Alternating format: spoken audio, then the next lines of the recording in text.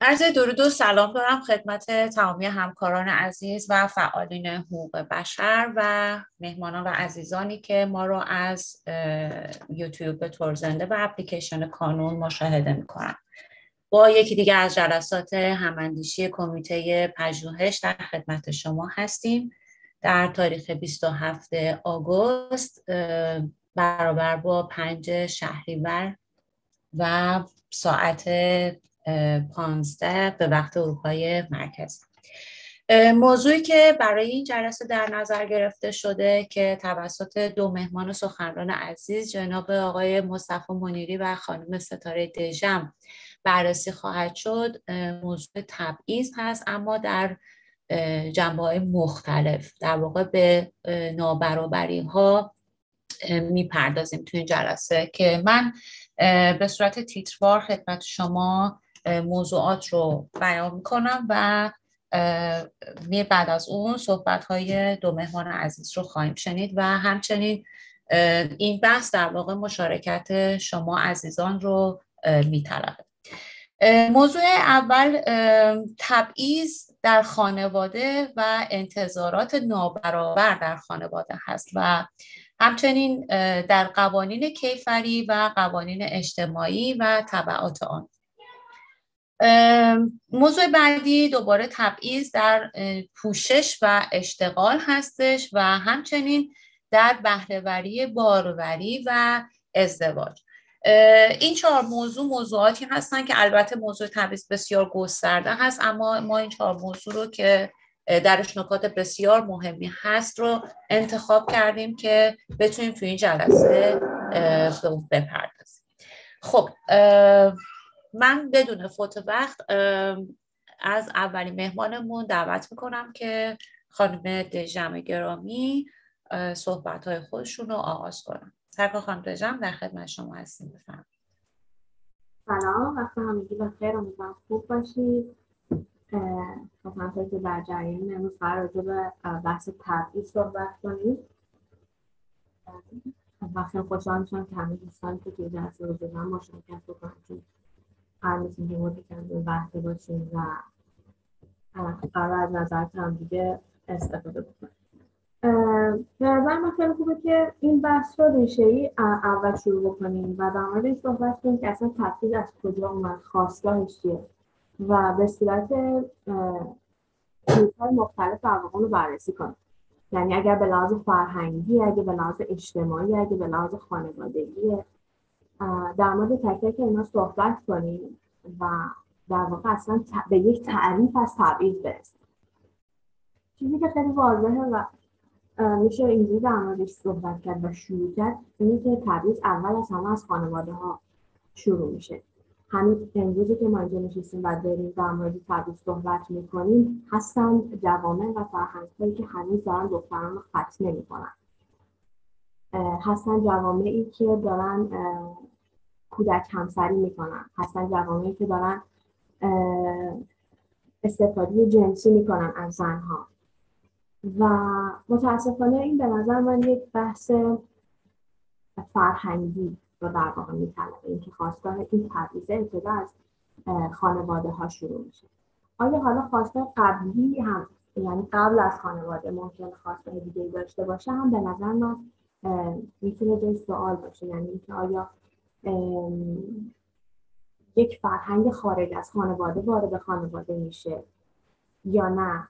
یه مثلا یک پدر تصمیم می‌گیره که یک تبعیض رو بین فرزندانش ایجاد بکنه به صورت کلی. اگه بخوام در صحبت کنیم ولی چیزی که واضحه و هممون شاهدش بودیم و احتمالا صحبت زیادی داریم در این باره حالا چه به عنوان خانم ها چه به عنوان آقایان در این جلسه اینه که واقعا از خانواده هامون هست. یعنی اون اون کسی هم که مدعی این باشه که از یک خانواده روشن فکر امروزی میاد هم اگر مروری در خاطراتش بکنه از کودکی تا به امروزش حتما با تبعیضایی مواجه شده. فعلا در حال حاضر اجتماع ندارم. کاری به اینکه حالا توی جامعه چه اتفاقی بر خانم ها میفته ندارم. فعلا از ابتدا شروع کنیم در خانواده. بچه ای که متولد میشه دختری که به دنیا میاد و به دستش عروسک میدن. و اون بچه مجبوره که انتخابی نداره جز اینکه خانوم باشه نقش یک مادر رو بازی کنه نقش یک حامی و این چیزایی که هممون راجبش می‌دونیم رو داشته باشه و این چیز عجیبه به نظر من. فارغ از بحث چیز فارغ از بحث چی بگم در موردش. فارغ از بحث غریزه. اینکه به صورت غریزی بچه ها دخترها به سمت چه می‌دونم اسباب بازی های دخترانه جذب میشن به سمت لاک و لازم آرش و عروسک جذب میشن. ولی آیا ما هیچ حق انتخابی به بچه‌مون میدیم؟ به فرزندانمون میدیم؟ حالا چه دخترها چه پسرها؟ اینکه بچه خودش انتخاب کنه که با چه وسیله بازی کنه و سرگرمی داشته باشه رو به نظر ما خیلی کم پیش میاد که این اتفاق بیفته. اصلا اون اول ما یه سری میشه تو دست بچه ها بچه دختر و یک سری وسیله از بازی ماشین و توفل و این چیزا میدیم دست بچه که پسر هست بزن و خیلی عجیبه به نظر من چون از همینجا شروع میشه اون تفاوتی که بین بچه ها به لحاظ اینکه شما زن هستی و مسئولیت دار از همین کودکی تعریف شده است این کارا رو باید بکنید در این چارچوب. و شما هم پسر هستی و این مسئولیت ها رو حالا این هرچی بزرگتر میشه به این سمت میره که مثلا توقعاتی که از دخترها دارن خیلی خانوم باشن متین باشن مهربون باشن پرخاشگری مثلا عصبی نباشن یا اگه ناراحت میشن صدای بلند نداشته باشن. این جمله کلیشه‌ای به نظر من خیلی بد که ای دختر که این کار نمی‌کنن ای دختر که داد نمی‌زنه ای دختر که از جوب نمیپره. یه چیزایی اینجوری که هممون شنیدیم زیاد. و من از چیزایی که یک فرد بچه قبل از این که وارد جامعه بشه وارد مدرسه بشه اینا همش توی ذهنش تو گوشش مرور شده. اینا باهاشون بزرگ شده. اوکی من دخترم و من نباید این کار رو بکنم. حالا اصلا تو دنبال دلیلم نمیگرده. توی خودش سوال نمی‌کنه. چرا من نباید این کار بکنم؟ فقط چون بهش گفتن و بچه است ناخودآگاه اون کارا رو انجام نمیده. و به نظر من این شروع اون اتفاق بعدیه که توی خانواده ها در واقع میفته توی بیسش بفهمید آقای صبریه درود و عرض ادب دارم خدمت همه همکاران عزیز. من حالا البته صحبت خانم دژم کاملا قبول دارم. فقط حالا من از این ور بهش نگاه می‌کنم. حالا از برای مثلا پسرها میگم. کلا اصلا نمی‌دونم. حالا کل دنیا رو خبر ندارم. ولی چیزی که تو ایران من خودم باش بزرگ شدم دیدم. ببینید تعریف شده که مثلا مثال میگم. آبی مال پسر هست یعنی اصلا یعنی میان تقسیم بندی می‌کنن جنسیت ها رو دیگه با رنگ ها هم از همینجا شروع میشه. یعنی اگر یه پسری صورتی بپوشه یا یه بچه کوچیک باشه با شما نمی‌دونید جنسیتش چیه. کارن بچه ها بیبی ها کوچولو همشون نوزاده شبیه همه حالا وقتی آبی تنش باشه خب این پسره. اگه صورتی باشه این دختره. و از همینجا شروع میشه این قضیه. از همون کودکی نوزاده حالا شما فرض کنید میاد بزرگتر میشه. یعنی تعریف شده متاسفانه. من نمی‌دونم تو کل دنیا اینه یا فقط تو ایرانه. و اینکه میگن مرد پسر باید مرد باشه باید صف باشه زخیم باشه نمی‌دونم خشم باشه با چیزای خشم بازی کنه. دخترها باید لطیف باشن نمی‌دونم آروم باشن. یعنی تعریف شده یعنی ساخته من واقعا برام عجیب و می‌تونم بگم واقعا عجیبه. یعنی کلمه دیگه واقعا نمی‌تونم براش به کار ببرم. و اینکه بگیم یعنی برام عجیبه واقعا. یعنی اصلا نمی‌تونم چرا علتش چیه مثلا؟ چرا مثلا یه پسر نمی‌تونه با یه عروسک بازی کنه؟ در حالی که به نظر من یه پسر باید با عروسکی بازی بکنه تا یاد بگیره که چطور می‌تونه یعنی شناخت پیدا کنه با دنیای جنس مخالف خودش از کودکی. نظر من البته. که بدونه آقا با یه عروسک چطور میشه رفتار کرد. اینجوری نباشه که همش خشم باشه نمی‌دونم تفنگ و اسلحه و نمی‌دونم. در حالی که من بارها دیدم که مثلا دخترها هستن که مثلا بعضی موقع تفنگ دوست دارن نمی‌دونم ماشین های کنترلی دوست دارن نمی‌دونم دوست دارن قوی بار بیان قوی یعنی از وجودشونه. حالا که این حالا بحث دیگه ای داره به نظر من. ولی من صدقم اگر بیشتر بشه بهم بگید لطفا اختیار بدید که من زمان بعضی موقع صحبت می‌کنم دستم در میره. ولی به نظر من از اون ریشه یعنی اون تربیت از اون اول یعنی پایه‌گذاری شده که آقا پسر با دختر فرق داره. من نمیگم فرق ندارن. دارن. ولی خب باید جوری بزرگ بشن که خودشون انتخاب کنن که آقا من تفنگه رو بردارم یا عروسکه رو. این حالا نظر من. مرسی که ما ممنون شما دقیقا چیزی که من صحبت کردم همین بود. تعریف سکسیمه در واقع یا همون تبعیض جنسیتی. اونجایی که خانواده متوجه میشن که دارن صاحب فرزند میشن و تصمیم می‌گیرن که به قول شما سیسمونی صورتی یا سیسمونی آبی بر بچهشون بگیرن. که این به لحاظ روانشناسی اتفاقا خیلی هم چیز بدیه و جدیدن روانشناسی دارن کار کاملا نفس می‌کنن و میگن شما به عنوان یک والدین حق ندارید این کار رو بکنید و برای بچه ها این چارت رو مشخص کنید. از رنگ خونسا استفاده کنید. اجازه بدید که خودشون انتخاب کنن که قرار سراغ کدوم بردارن این بری باشن یا اون بری باشن. مثال میگم من به عنوان یک دختر تصمیم می‌گیرم که یک شغل چه میگم برقکار نجار یا شغل اینجوری داشته باشم خب خواستگاهی که از بچگی درون من شکل می‌گیره. ولی وقتی خانواده من مجبور می‌کنن که نه تو باید با بازی کنی این کار بکنی این کار بکنی خب این اون چیزی نیست که من بر خودم در آینده شاید انتخابم باشه. بفرمایید خانم خب خیلی ممنون از شما. من فکر می‌کنم که البته نمیم بگیم که این خیلی غلط هست. از این بابت که قبلا به این صورت بوده که یک سری وظایفی جدا بوده.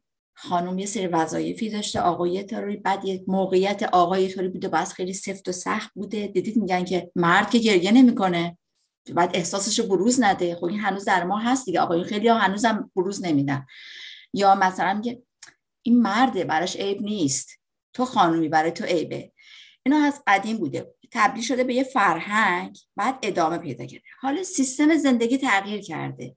خانم ها وارد سیستم اجتماع شدن کار می‌کنن و همون سختی رو هم, هم من الان عاشق چیز هستم. یعنی باورتون نمیشه من نشون بدم شاید نتونم. جعبه ابزار خریدم. پیشگوشی چادر. هر جام که میرم عاشق این درل نمی‌دونم نه همه هم خریدم. همه هم چیز می‌کنم. من پدرم میاد میگه که یه بالاخره تو نشانی از پدرت داری. دوست دارم با اینا کار می‌کنم هیچ چیزی هم مانع هم نیست. یا برعکس خواهر من از بچگی توپ دوست داشت. ما مجبورش نکردیم با عروسک بازی کنیم. فوتبالیست قهار یا حریف همه آقایون توی جلسه هم هست. از بچگی هم اینطوری بود. ما مجبورش نکردیم که. متا موقع فوتبال ممنوع بود. آقای سبزی ها میخنده. فکر می‌کنه شوخی می‌کنه.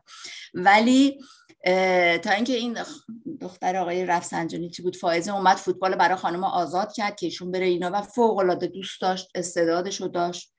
و این درسته. اما بعد این میگم اون اشتباه نبود. اون زمان ایجاب می‌کرده. اما الان باید یواش یواش روش کار بشه. دخترها هم می‌تونن مکانیک بشن. می‌تونن راننده ماشین بشن. آقایون هم می‌تونن برن برای بچه ها تو مهد تو برنامه تلویزیون. دیدی برای بچه ها بازی می‌کنن؟ آقایون هم می‌تونن تو این بخش. هر کس بر اساس علاقش. دیگه عیب نیست. اگه خانم راننده بشه اگه آقا ظرف بشوره آشپز بشه دیگه عیب نیست. بر اساس استعداد و علاقه است. یه زمانی فرهنگ بوده. پس بیایم به عنوان یه عیب بهش نگاه نکنیم. به عنوانی که اون زمان ایجاب می‌کرده الان باید با توجه به روز به روز رسانی بشه. رنگ آبی و صورتی من خیلی توش ایراد نمی‌بینم. یه نشونه است. که مثلا اینکه حالا چون دختر ظریفتره چون پسر فلان یا به هم دیگه می‌خوان نشون بدن. ولی نه اینکه من الان خودم اگه خواهر زادم یا کسی دیگه ببینم میگم این لباس چند تا لباس رو من انتخاب می‌کنم اما رنگش با شما. حق نداره بگه من اون لباس من انتخاب می‌کنم سه تا چهار مدل لباس و نوع کدوم لباس رو دوست داری یا کدوم رنگ رو به اون بچه میگم خودت انتخاب کن. با خودت. هر رنگی که دوست داری. چون به قول شما روانشناسی رنگ بچه احساسش از روانشناسی رنگ نشون میده. از رو اون شما می‌تونید درون اون بچه بعضی بچه ها درونگران می‌تونه متوجه درونشون بشید خوشحالن یا نه برعکس. این دیگه به عنوان یه عیب نه به عنوان که به روز رسانیش کنیم به این سمت سوق بدین که این یه مقدار تغییر بکنه که خانم آقا دیگه یواش یواش هر دو قسم می‌تونن کار بکنن. ممنونم. من مایک ممنون شما آیدی سیمی من می‌دونم دستشون بالا هست بفرمایید عرض ادب و احترام دارم. تشکر می‌کنم از شما با این محوریت صحبتی که دارید.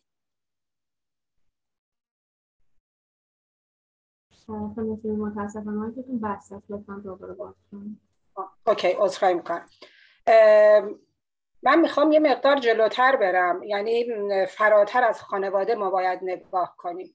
به نظر من وقتی ما میایم گذشته های خیلی دور خانواده های سنتی و جوامع سنتی رو چه در زمان های خیلی خیلی دور و در زمان حاضر بررسی می‌کنیم برای یک خانومی که در یکی از روستاهای دور افتاده فلان کشور بسیار عقب افتاده هم زندگی می‌کنه وقتی بچهش به دنیا میاد براش فرقی نمی‌کنه لباس آبی تنش بکنه یا لباس صورتی. هر چیزی رو که دم دست داره و رفع نیاز اون وضعیتش هست رو مورد استفاده قرار می‌گیره. مشکل از اونجایی شروع شده در واقع که متاسفانه حتی برای خانواده های ما در واقع یک تبعیض بزرگتری به وجود اومد. جایی که رسانه ها جایی که ابزار قدرت در واقع مافیای تجارت مافیای صنعت مافیای مد و خیلی از در واقع رشد سرمایه داری زمینه هایی رو فراهم کرد که با استفاده از دنیای عجیب و غریب تبلیغات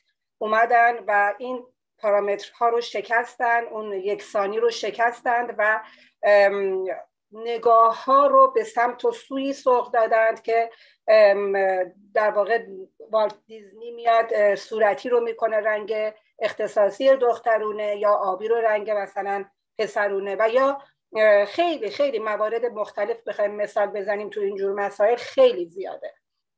من به نظرم در واقع نمی‌تونیم خونواده رو به عنوان در واقع مهمترین عامل در نظر داشته باشیم یا یگانه ترین عامل در نظر داشته باشیم از این جهت که به موازات خانواده در واقع اون خوراک فکری تدریجی که ابزار رسانه دارن در واقع تحمیل می‌کنن به خانواده ها آروم آروم زاویه نگرش آدم ها رو داره تغییر میده زاویه دید آدم ها رو داره تغییر میده و داره و اونها هم فقط و صرفا به جهت در واقع مصرفگرایی هست که داره این زمینه ها رو فراهم می‌کنه. و الا این تبعیض تبعیضی که ما از خانواده داریم منشش رو سرآمد می‌گیریم به نظر من از یک پایگاه بالاتر از یک جایگاه بالاتری داره شروع میشه. و خب من فکر می‌کنم که مطمئنا تو ادامه صحبتاتون قطعا شما هم به این موارد اشاره خواهید کرد. به نظرم اومد که بگم هنوز اگر ما نیاز رو که در واقع سرآغاز تمام اختراعات بشری هست رو در نظر بگیریم هیچ چیزی جز رفع اون حاجت در همون لحظه خاص نمی‌تونه بشر و روح بشر رو اغنا بکنه و این در واقع هیچ دستاوردی غیر از اینکه از همون وسایلی که در دست دسترس هست بخواد مورد استفاده قرار بده براش چیز دیگه ای نیست. اما جایی که پای در واقع سرمایه داری به میون میاد تبلیغات به میون میاد کم کم تمام این زمینه ها رنگ و بوی دیگه ای می‌گیرن. ممنونم از شما. ممنون شما برای مشارکت. بله اینکه چیز پوشیده نیست بر نه تنها حالا مسئله جنسیت بلکه تمام موضوعاتی که بخوام راجعش صحبت کنیم کاپیتالیسم رو در بر می‌گیره. اینکه دنیا حالی که در واقع به قول شما همین رسانه تبلیغات که میان وسط و تصمیم می‌گیرن برای بقیه انسان ها اما اول بشنویم از آقای سبزیان. من در ادامه مواردی اشاره می‌کنم. بفرمایید خیلی ممنون. دوباره مایک رو در اختیار من قرار دادین. جلسه کلا بحث تبعیض میشه. من زیاد صحبت می‌کنم. من از الان عذرخواهی می‌کنم چون باز بارها می‌گیرم مایک گفت این جلسه. من اولا خانم صحبت خانم رضاوند رو شنیدم. من خندیدم. خانم رضاوند چون به چالش کشیدید من این خنده مسخره نه خنده این بود که لذت بردم. برای خنده اون بود.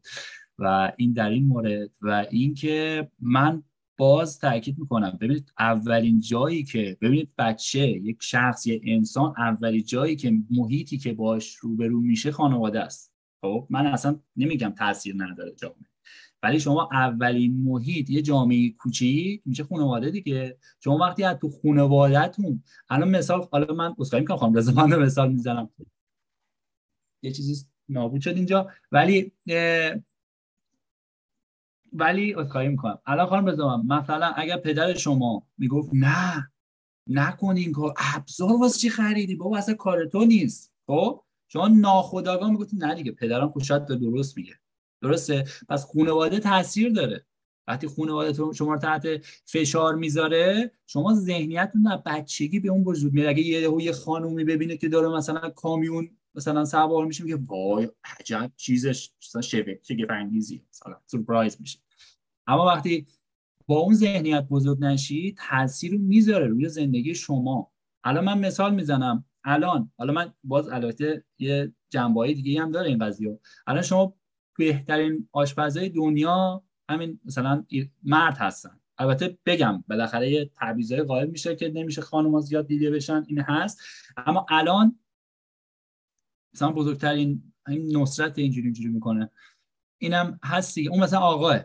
درسته؟ بزرگترین مثلا من خیاط ها رو دیدم مثلا آقا هستن که کد می کد میدوزن مثلا توی انگلیس و جاهای دیگه.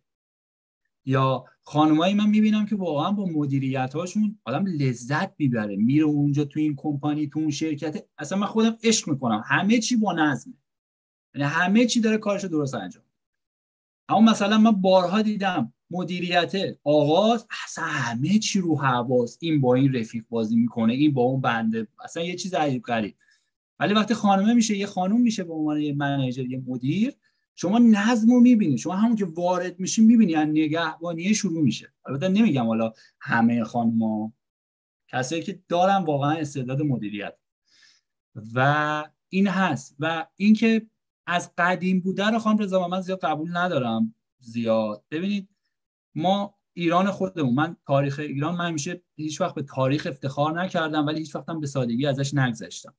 البته آرتیمیس ایرانی نبوده یونانی بوده. اما خب ما چند تا فرمانده جنگی داشتیم تو تاریخ ایران که خانوم بودن. و حتی من فردام که می‌خوام در مورد کتابی که صحبت کنم توی حالا جاش هم نیست برای نمایندگی جنوب آلمان درباره تاریخ از زبان داریوش که خانم آلمانی نوشته این کتابو. می‌خوام صحبت کنم در موردی که خانم ها اصلا توی این کتاب نوشته شده که بابا خانوما بودن که اصلا اومدن واقعا مدیریت می‌کردن و کارگرا. 2000 خورده سال پیش. خب این یعنی چی؟ یعنی از اولی تاریخ ما بودیم بوده این مهارت توی وجود خانم ها بوده که مدیر باشن مدیریت کنن. حالا توی خانواده طرف میاد میگه که اه آقا جون گفته فل آقا جون که حالا هر چی هست جایگاش درست. اما خود دلیلی نداره که شخصی شاید یه خانومی بتونه یه کاری درست انجام بده.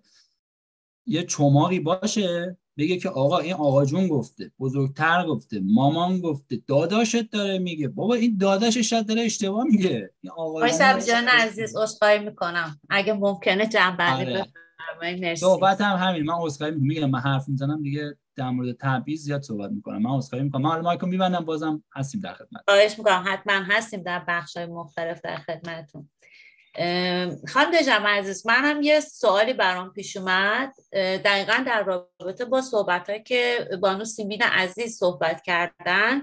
این سوال برای من پیش اومد که اگر حالا به فرمایش ایشون که گفتن از حالا حتما این قضیه از خانواده نیست شاید از بالاتر این بخواد شکل بگیره اگه یه فلش بک بزنیم به عقب من فکر کنم خب به حال تربیت تو خانواده صورت می‌گیره توسط مادر یا پدر و اون فرزندان مادر پدرهای آینده هستن و یا حالا در کل اگر بخوایم در جامعه حساب بکنیم ممکنه حالا زمانی قانونگذاری مسئولی نمی‌دونم یه،, یه چیزی که کسی باشن که یعنی بخوان تاثیر داشته باشن توی اعمال اون تبعیض ها از آنچه که تربیت شدن خب؟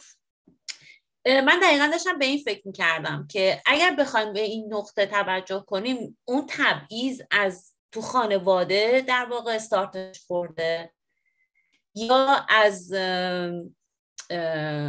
از بالاتر یعنی خارج از خانواده یعنی از جامعه یا بالاتر از اون رسیده به بقیه. مرسی ممنون.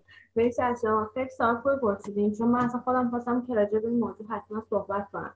ببینید به نظر من قضیه اینجوریه که همطور که آقای سرزیان به اشاره کردن خانواده هست که جوامع رو تشکیل میده. پس اگر که در خانواده من به عنوان یک فرزند پدر و مادری داشته باشم که بین من و داداش من تبعیض قائل نشن و اگر شده من اجازه داشته باشم که به عنوان یک دختر سوال بپرسم دنبال چراییش باشم و ازشون بخوام که این کار نکنن یا اگه می‌کنن توضیح بدن که چرا این کار می‌کنن. و من آزاد باشم و از سوال پرسیدن در واقع آزادی بیان هم وسط داشته باشم و غیر از اون هم تعبیر نداشته باشم. یعنی یه بابایی حمایتگری مثل پدر خانم رضاوند داشته باشم که اگه من به عنوان یک دختر قرار یک کار خلاف عرف انجام بدم از من به عنوان یک دختر حمایت کنه. اگر این اتفاق ها در بستر خانواده بیفته منی که در آینده قرار وارد اجتماع بشم و در جامعه برم و تحصیل کنم مدرسه برم شغل داشته کار انجام بدم اون موقع است که می‌تونم به عنوان یک زن از حق خودم دفاع کنم. اون موقع است که می‌تونم متوجه اول از همه متوجه تبعیض باشم و در برابر این تبعیض از خودم دفاع کنم. و بگم نه برای چی مثلا الان من به عنوان یک زن جایگاه باید این باشه؟ می‌دونی؟ چون من از بچگی تبعیض رو فهمیدم و قبولش نکردم. این اون اتفاقی که به نظر من باید در جوامع و در خانواده اتفاق بیفته. خانم سیمی بفرمایید. چرا من میگم به موازات این دوتا مسئله جامعه و خانواده با همدیگه همسو هستن و پیش میرن؟ به این دلیل هست که الان شما به نکته بسیار خوبی اشاره کردید رفتارهایی که در بستر یک خانواده شکل می‌گیره این رفتارها نشأت گرفته از یک فرهنگ هست و زمین سازی این فرهنگ خب به عهده جامعه است به عهده مقام بالاتر هست. خب به این دلیل هست که ما نمی‌تونیم حتی حتی در عصر حاضر یک خانواده اروپایی رو با یک خانواده آسیایی یا یک خانواده در جنگل های آمازون عین هم بدونیم.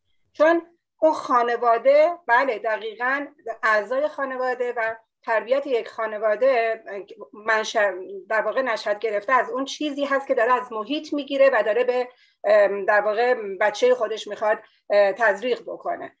کما اینکه حالا اصلا قبل از به دنیا آمدن بچه خب این مادر داره دوران بارداری رو میگذرونه. یعنی بچه از دوران جنینی داره این تربیت ها رو می‌گیره. به اضافه اینکه خب همین تربیت هایی رو که داره از ابتدای خلقت دریافت می‌کنه رو داره از یک فرهنگ ارتزاق می‌کنه. اون فرهنگ است که در واقع بستر رفتاری خود اعضای خانواده رو هم در مقابل یکدیگه تکمیل و تایید می‌کنه. بله. کاملا حرف درستی میگن خانم سیمین. اینکه خب بالاخره شاید همه پدرها خودشون ابداع کننده حالا بحث اون تعویض اون تعویض ها نباشن. شاید از پدرانشون یاد گرفته باشن. شاید این یک رسم قبیله ای باشه اصلا توی خاندانشون. درست میفرمایید. با این قسمت حرفتون کاملا موافقم. آقای شاداب بفرمایید. سلام وقتتون بخیر. امیدوارم کارتون خوب بشه واقعش من حرف دوستان رو گوش کردم. بعد خب یه جای موافق بودم یه جای مخالف. ولی خب چیزی که من فکر می‌کنم در کل هست حالا ما از فرهنگ و از خانواده که بخوایم دورتر بشیم یعنی بیایم از بالاتر نگاه کنیم به نظر من این که این تبعیض ریشه در دین و مذهب داره.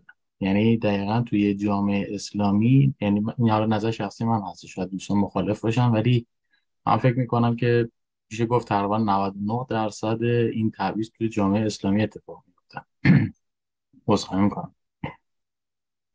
البته این هستش که شاید مثلا 20 سال پیش شاید 15 سال پیش یا 10 سال پیش این تعویض خیلی زیادتر بود. ولی الان شاید توی موارد خاصی هستش که فقط حالا این تعویض داره اتفاق میفته حتی ما تو همین کشور اروپایی داریم نگاه می‌کنیم.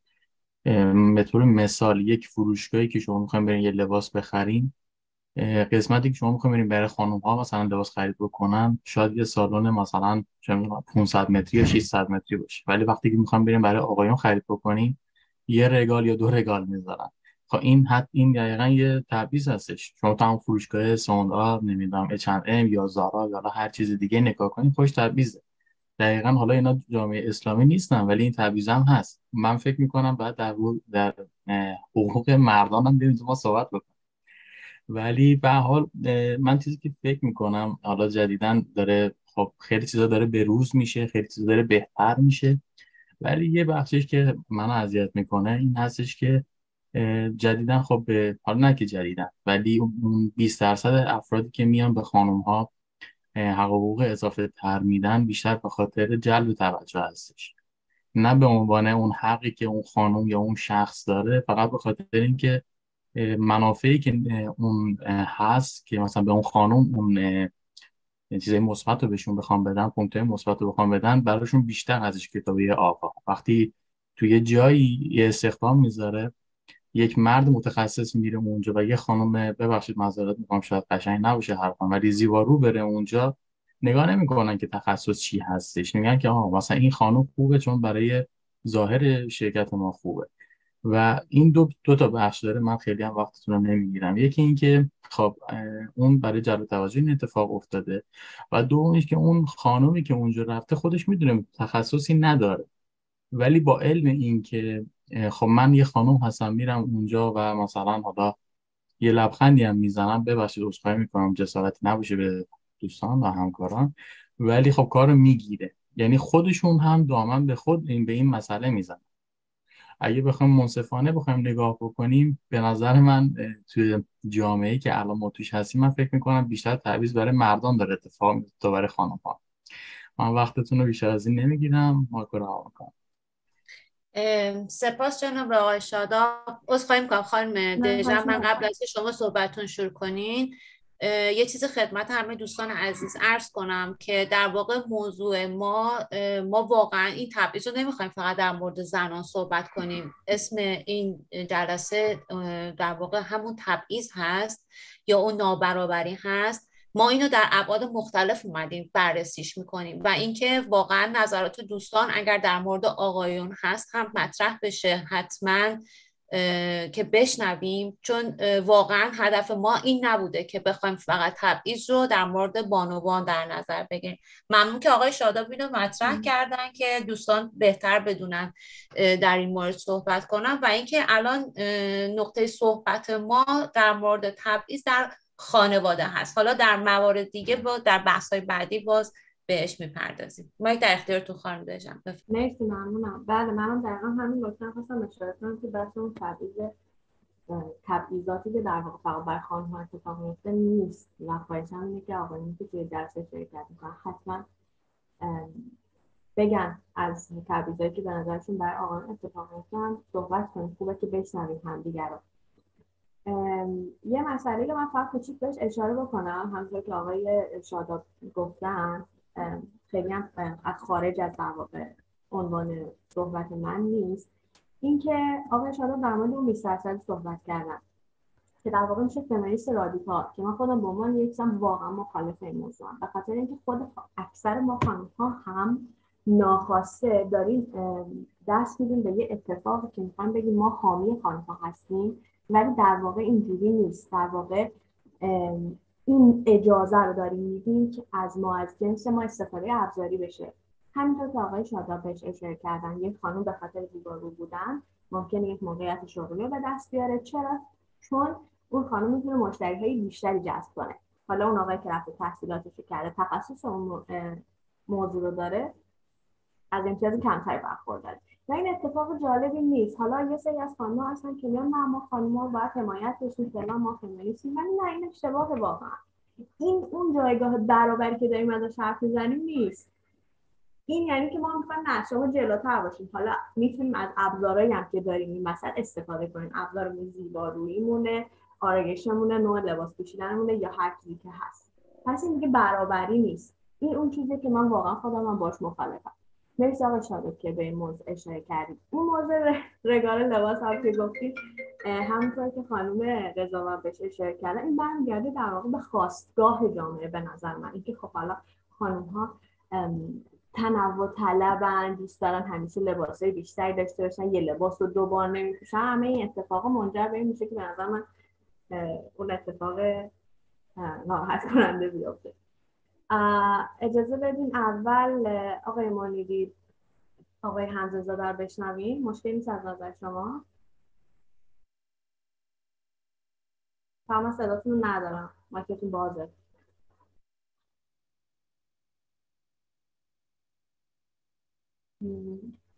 دوستان دارید شما صدای آقای منیری صدا آقای منیری نیستش.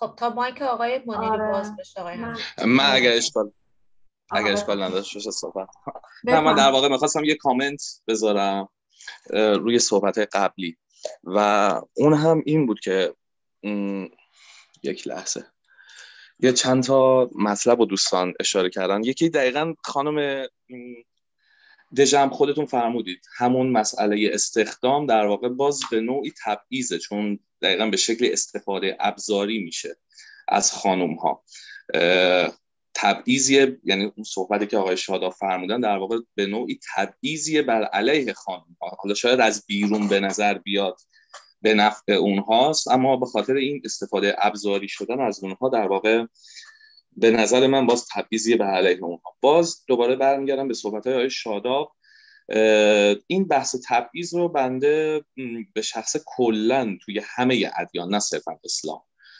توی همه ادیان می‌بینم بر اساس حالا کشورهای مختلف بر اساس مدرنیته مدر... اه، بر اساس مدرن شدنشون باز یک مقدار انعطاف به خرج دادن نسبت به این تبعیضات. اما اگر برگردیم به گذشته می‌بینیم که کشورهایی که در حال حاضر حداقل تبعیضها درش صورت می‌گیره یک موقعی باز همونها بدتر از همین الان اسلام بودن. بعد دوباره حالا من باز از می‌کنم یه چند تا مطلب و امیدوارم زمان خیلی چی نکنم. یه نکته حالا اتفاقا سیمین خانم دستشون رو بلند کردم. من در مقابل ایشون می‌خواستم یه نکته اضافه بکنم. بحث خانواده. و جایگاه جامعه. دقیقا خب حالا این صحبت سیمین خانم کاملا متین که دقیقا خانواده ای که میاد فرزندان رو تربیت می‌کنه از جامعه داره در واقع تاثیر می‌گیره. اما خب حالا اون جامعه چیه؟ اون جامعه در واقع از این خانواده های کوچیک تشکیل میشه و این فرهنگی که میگیم یک چیز خارج از یک چیز مجزا و خارج از افراد نیست. یعنی این دقیقا به طور همونطوری که م، سیمین خانم فرمودن باید کم کم توی افراد تغییر ایجاد بشه توی افکارشون که که این به فرهنگ تبدیل بشه. حالا این که دقیقا از کجا باید شروع بشه من نمی‌دونم اما دقیقا همونطور که ایشون فهمودن باید موازی پیش بره. یعنی هم از خانواده ها هم همونطوری که مثلا پدر خانم رضاوند اه، نقش حمایتگر رو داشتن باید در پیش بگیرن هم از طرف دولت ها و سیاستگزاران کلان در واقع این مسئله باید پیش بره. اگر فرصت دارم یه نکته کوچولوی دیگه هم بگم. اون هم راجع به جایگاه مدیریتی بود. من داشتم یه مطلبی رو میخوندم درباره هوش درباره هوش و استعداد. هوش استعداد تفاوت هوش استعداد زنان و مردان. که جالب اینجا بود که می‌گفت که حالا بر اساس بر اساس تحقیقاتی که انجام شده ضریب هوشی با یک سری معیارها ضریب هوشی آقایون بالاتره. اما چیزی که حالا آقای سبزیان فرمودن من همیشه تعجب می‌کنم چرا اکثر مدیریت جهانی دست آقایونه. در حالی که این چند بعدی بودن خانم ها رو من واقعا خیلی شدیدتر و برتر دیدم و به نظر من مدیریت هم احتیاج به این چند بعدی بودن داره که بتونه شخص از جهات مختلف یک, یک مسئله رو بررسی بکنه. اما آقایون حالا از لحاظ هوشی و استعداد حالا این ارز کردم یک چیز میانگینه. از لحاظ تحلیل آقایون بالاتر هست اما خب دقیقا وقتی یک نفر اما خب همه می‌دونیم دیگه آقایون مردان شدیدن تکبودی ترن و خب به نظر من خانم ها خیلی بهتر می‌تونن آقایون رو مدیریت بکنن که آقایون یک کاری رو به نحو احسن انجام بدن. همونطوری که من فقط یک کوتاه بگم من به شخص این چیز شخصیمه تجربه شخصیمه. توی خانواده هایی که زن و شوهر زن نقش مدیریتی رو داره. و به مرد میگه که چه کاری انجام بده و اون مرد به نحو احسن اون کار انجام میده اون زوج خیلی توی مسیر موفقیت سریعتر پیش میره مرسی. ببخشید. خیلی حرف زدم.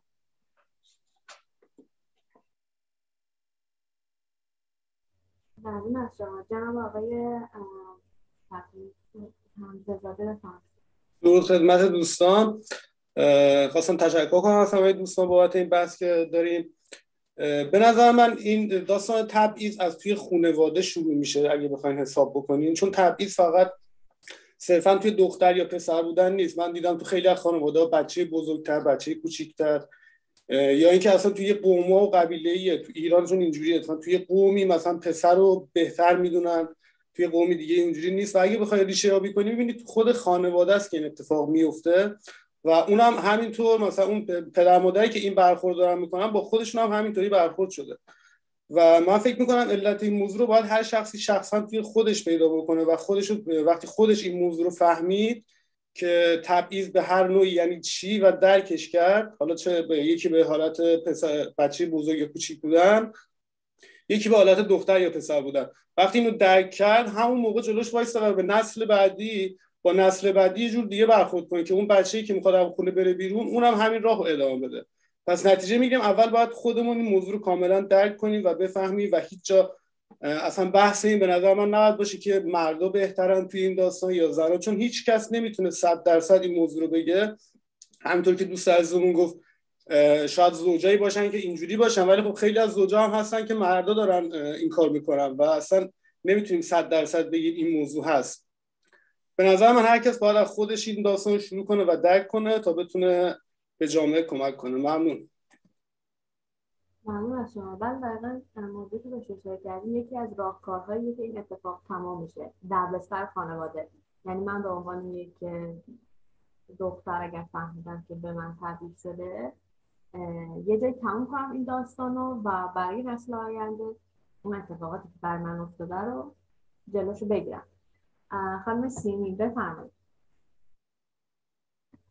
خب من تشکر می‌کنم. در واقع یه بخشی از صحبت من رو جناب منیری مطرح کردن. اونم همون قسمتی بود که وقتی که یک خانوم حالا با در واقع استفاده از ابزار جنسی خودش میاد و وارد یک مجموعه ای میشه و اون فرد استخدام می‌کنه شاید در ظاهر قضیه ما بذاریم خوششانسی طرف ولی در واقع اون بدشانسی مطلق اون طرف به حساب میاد چون اولین در واقع دچار اولین وضعیت تبعیضی شده در همون مقطع زمانی. در واقع انتخاب یک انتخاب تبعیض آمیز برای شخص اون خانوم هست. که صد درصد هم اثرات سوءش بعدا باز دامنگیرش خواهد شد. که خب حالا ایشون این قسمت رو توضیح دادن. در رابطه با یه مطلبی هم که آقای شاداب فرمودن بحث دین رو در این مقوله وارد کردند. ببینید دین مجموعه ای از تعالیم و دستورات و راه و روش هایی برای زندگی هست. حالا این دستورات و تعالیم و راه و روش ها در هر جامعه متفاوت هست. حالا توی جامعه اسمش اسلام میشه توی جامعه بودا میشه توی جامعه حالا به هر شکلی در یک اسمی رو رو خودش می‌ذاره. اما اون چیزی که به حال باز هم برمیگرده به اون نکته اصلی همون راه و روش و اون تعلیم نوشته شده. ما وقتی میایم توی قوم شناسی یا تو مردم شناسی در مورد خورده فرهنگ ها و فرهنگ ها صحبت می‌کنیم ببینید من اینو کاملا قبول دارم. اعضای یک جامعه صد درصد توسط خانواده تشکیل میشن. خانواده هسته اولیه تشکیل یک اجتماع بزرگتر هست. اما اما به هیچ عنوان خب تاثیر یک خانواده به تنهایی نمی‌تونه یک تأثیری رو که یک خورده فرهنگ می‌تونه بر یک جمع کثیری بذاره یا بالاتر از اون یک فرهنگ می‌تونه بر جمع کثیری بذاره رو نمی‌تونه اون تاثیر رو داشته باشه. ما الان خیلی از جوامعی رو همین امروزه شما در ابتدای صحبت هم فرمودید. تو خیلی از قبایل نیجریه همین امروز یا تو خیلی از قبایل اوگاندا همین امروز دختران دارن ختنه میشن دینی ندارن دین خاصی رو ندارن ولی خورده فرهنگ ها و در واقع اون توتم پرستی هایی رو که از قبل در واقع تو جوامع اونها شکل گرفته داره این باورها رو به خورده اینها میده. و دارن این این در واقع این جور رفتارها رو دارن در بستر خانواده اعمال می‌کنن. این رفتار در بستر خانواده نشأت گرفته از توتم هایی هست که از جوامع قبلی یعنی از فرهنگ های قبلی خودشون دارن. این هست که من میگم این تاثیر به موازات همدیگه داره پیش میره. اون خانواده در واقع نشأت گرفته از یک فرهنگ یک ارتزاق فکری هست که مبتنی بر اون یک رفتاری رو در اون خانواده از خودش نشون میده. حالا بله ما در هر خانواده می‌تونیم بر اساس توانایی ها و پتانسیل های فردی خودمون یک جایی بعضی از این تابوها رو بشکنیم بعضی جاها علامت سوال بذاریم یا نه همچنان تم بدیم و به نسل بعدیمون منتقل.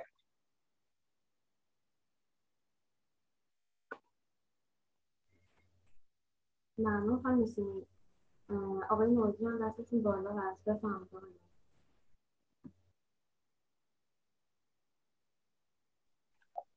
سلام وقتتون بخیر باشه خسته نباشین و صدای من امیدوارم واضح باشه. عرض به حضورتون که بحث تبعیض شد و حالا من صحبت دوستانم شنیدیم من یه بحثی رو می‌خواستم با یعنی نظرات شما رو می‌خواستم داشته باشم عزیزان. اینکه تبعیض به چه صورت؟ اگر بخواد یه جامعه در مقابل یه قشر خاصی تبعیض قائل بشه یعنی یه دولت بخواد در یک قشری از جامعه تبعیض قائل بشه. اون موقع داستان به چه صورته؟ یعنی ما بیایم حالا از بالا به پایین نگاه کنیم.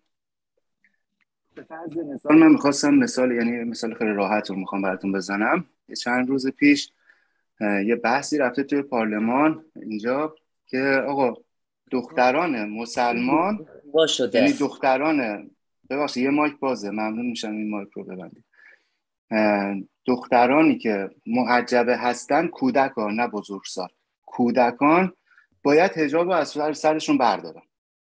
حالا استدلال چی بوده؟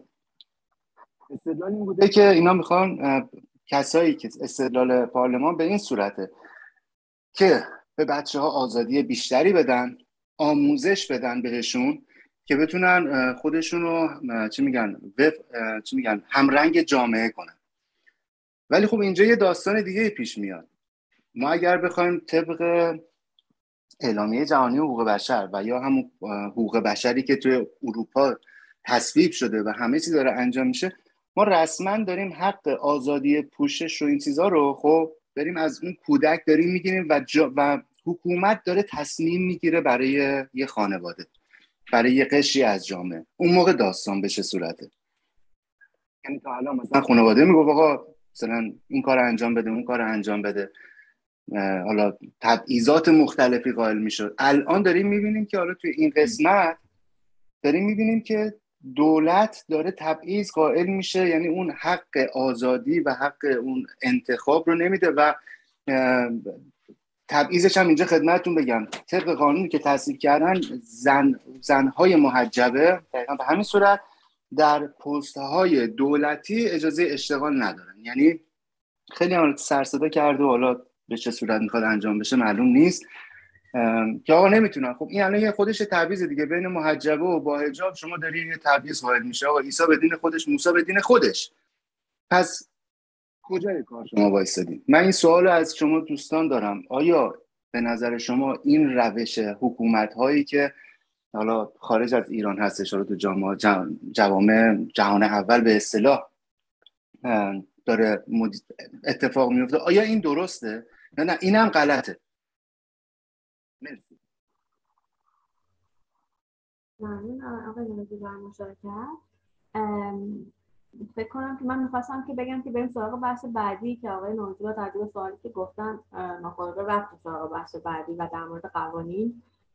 کیفری و قوانین اجتماعی و طبعات آن که آقای مانیز زحمت کشتن راجع به موضوع با با همون مطالبشون رو به اشتراک می‌گذارن و من مایکتون بسته آره شد. اول آقای سرجان دستشون رو بلند کرده بودن. و آقای شاداب راجع چیزی که می‌خوان صحبت بکنن بعد ما صحبت آقای مانیدی رو بشنم خیلی ممنون. من شاید این نظر من واسه نمی‌دونم ناراحتی خیلی ها بشه ولی چون من همیشه اعتقاد دارم نظرمو بگم حرفمو بزنم. البته توهینی توی صحبت نظر من حداقل به نظر شخصی خودم نیست ولی میگم در صورت نظرم. من نظرم اصلا در مورد حالا من دوستم ندارم همیشه در مورد مذهب و اینا صحبت کنم چون اصلا واقعا حالا صحبت در موردش ندارم. ولی به نظر من دین رو کی درست کرد؟ نظر من به نظر من دین از جایی شروع شد دین آقایون به نظر من درست کردن. یعنی حتی دین عملا توسط کسانی درست شد که خواستن حکومت کنن بر یعنی آقایون حکومت کنن بر خانمان. نظر منه می‌تونه حالا اشتباه هم باشه درست باشه از نظر خیلی. و اعتقادم اینه که چطور ممکنه که یک خانوم به چیزی اعتقاد داره که حقش رو ازش می‌گیرن؟ همیشه برام سوال بوده. کاری اصلا به هیچ کدوم از دینا ندارم. حالا هر کدوم از دینا می‌خواد باشه. چطور ممکنه یک شسته خانوم هم برش کنیم؟ میریم جنسیتیش نمیم یک انسان چطور می‌تونه به چیزی باور داشته باشه که حقش رو گرفته میشه ازش با اون اعتقاد حقوق اولیش این در مورد یک مورد که در مورد دین صحبت شد. مورد دوم صحبت های آقای نوروزی رو من شنیدم. ببینید همین که پدر مادره میگه هجاب داشته باشه اون کودکی آیا این خودش آزادیه؟ این که مثلا پدر مادره میگه که خب من مسلمونم دختر منم بعد هجاب داشته. آیا از اون کودک سوال میشه؟ یا نه؟ از بچگی بهش میگن که باید هجاب داشته باشی. باید یه چیزی رو سرت باشه. چرا؟ علتش چیه؟ چون دین میگه. پس این آزادیه. من سوال دارم از آقای نوروزی. شما از این ور بهش نگاه کنید. آیا اون موقع که خانواده این کارو داره به زور انجام میده؟ عملا زوره دیگه. یعنی داره تحمیل می‌کنه به اون کودک. چون کودک نمی‌دونه که غیر از اینه که زیر کودک زیر 18 سال آیا می‌تونه واسه خودش تصمیم بگیره؟ ما الان چیز نرمال من میگم دیگه. جهانی که آقا میگن زیر 18 سال کودک حساب میشه. و بالای 18 سال بالغه می‌تونه برای خودش تصمیم بگیره. صحبت من اینجاست. اون موقعی که خانواده داره تحمیل می‌کنه این موضوع رو آیا این خودش تبعیض نیست؟ آیا این آزادیه که به کودک داده شده باشه که خودش انتخاب کنه. من حتی اینکه حکومت هم داره فشار میاره اینم قبول ندارم. الان تو آلمان هم هست. شما اگر حجاب داشته باشید نمی‌تونید معلم بشید. به نظر من باید حق انتخاب داده بشه. فرق نمی‌کنه خانواده بشه یا جامعه. شخصی انسان. یعنی من با مرد زنش هم دوباره جنسیتیش نمی‌کنم. انسانی که حق انتخاب نداشته باشه توی زندگی خودش یعنی آزادیش ازش گرفتید در حقش ظلم کردید حقش رو گرفتید تبعیض قائل شدید براش. حالا فرق می‌کنه آقا باشه خانوم باشه کودک باشه می‌خواد جامعه فشار آورده باشه خانواده فشار آورده باشه. من سوالم از آقای نورزینه اینکه پدر و مادر داره زور می‌کنه به اون بچه تحمیل می‌کنه این تفکر و این ذهنیت رو که آقا هجاب باید داشته باشی تو دختری. این آزادیه این تبعیض نیست. ممنون میشم اگه پاسخ بدم. مرسی. آقای سبزیان ممنون از شما و سایر دوستان که مشارکت کردین. در واقع موضوع صحبت شما هست در دیتیل همین بحثی که الان داریم اما موضوع صحبت آقای نوروزی در قوانین هست یعنی در بحث بعدی که توسط آقای منیری اجرا میشه که فکر کنم تو اون زمان به این بحث بپردازیم خیلی خوب میشه. و یه موضوع دیگه که باز همچنان برای من سوال باقی موند. حالا اگر دوستان باز می‌تونن راهنمایی کنن اینه که هم سوال اولی که کردم این تبعیض از خانواده شروع شد یا از جامعه به خانواده منتقل شد؟ دقیقا این سوال اول مرغ بود یا تخم مرغه چون به همون اندازه که داریم صحبت می‌کنیم خانواده می‌تونه جامعه رو تغییر بده و به همون اندازه هم جامعه یا قوانینی که در جامعه گذاشته میشه می‌تونه خانواده رو تغییر بده. یه مثال کوچیکم بزنم. همینجا تو همین جامعه آلمان خب می‌دونین همه از آزادی هایی که طبق قوانین حقوق بشر هستش می‌تونیم بگیم در درصد خیلی زیادی بهره من هستن. ولی همچنان تو همینجا تو آلمان هم خانواده هستن که هنوز بر اساس همون فرهنگی که داریم میگیم که من در واقع اون نقطه شروع اون فرهنگ از کجا شروع شد همون خورده فرهنگایی که بانو سیمین گفتن از کجا شروع شد؟ از تو خانواده اومد یا از ادیان وارد خانواده شد یا همینطور بزرگتر وارد شد؟ اینجا در آلمان هم یا در خیلی کشورهای پیشرفته اروپایی آمریکا خانواده هستن که هنوز دخترهاشون ساعتهایی رو تعیین می‌کنن برای که در خانه باشن. مثلا از یه ساعتی به بعد نمی‌تونن خونش روابطشون با جنس مخالف تعییش مشخص شده هستش. یعنی یک سری چیزهایی که در خیلی از خانواده ها که حالا ما در ایران یا کشورهای اسلامی بیشتر می‌بینیم هنوز توی جامعه هایی که در واقع آزادی ها هم هست اون اعمال میشه. اینه که من دقیقا می‌خواستم بودم که اون فرهنگ با وجود که الان همچین قوانینی مثلا توی کشور آلمان نیست اما در بسیاری از خانواده ها هنوز اون فرهنگ وجود داره.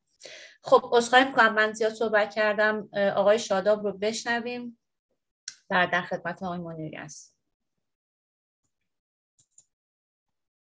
خب ممنون که به من وقت دادیم واقعش من صحبتی که می‌خوام بکنم در رابطه با حرف صحبت های آقای نوروزی نیست. مربوط به حرفی که قبلا زدم من و دوستان که صحبت کردن نظرشون رو دادن.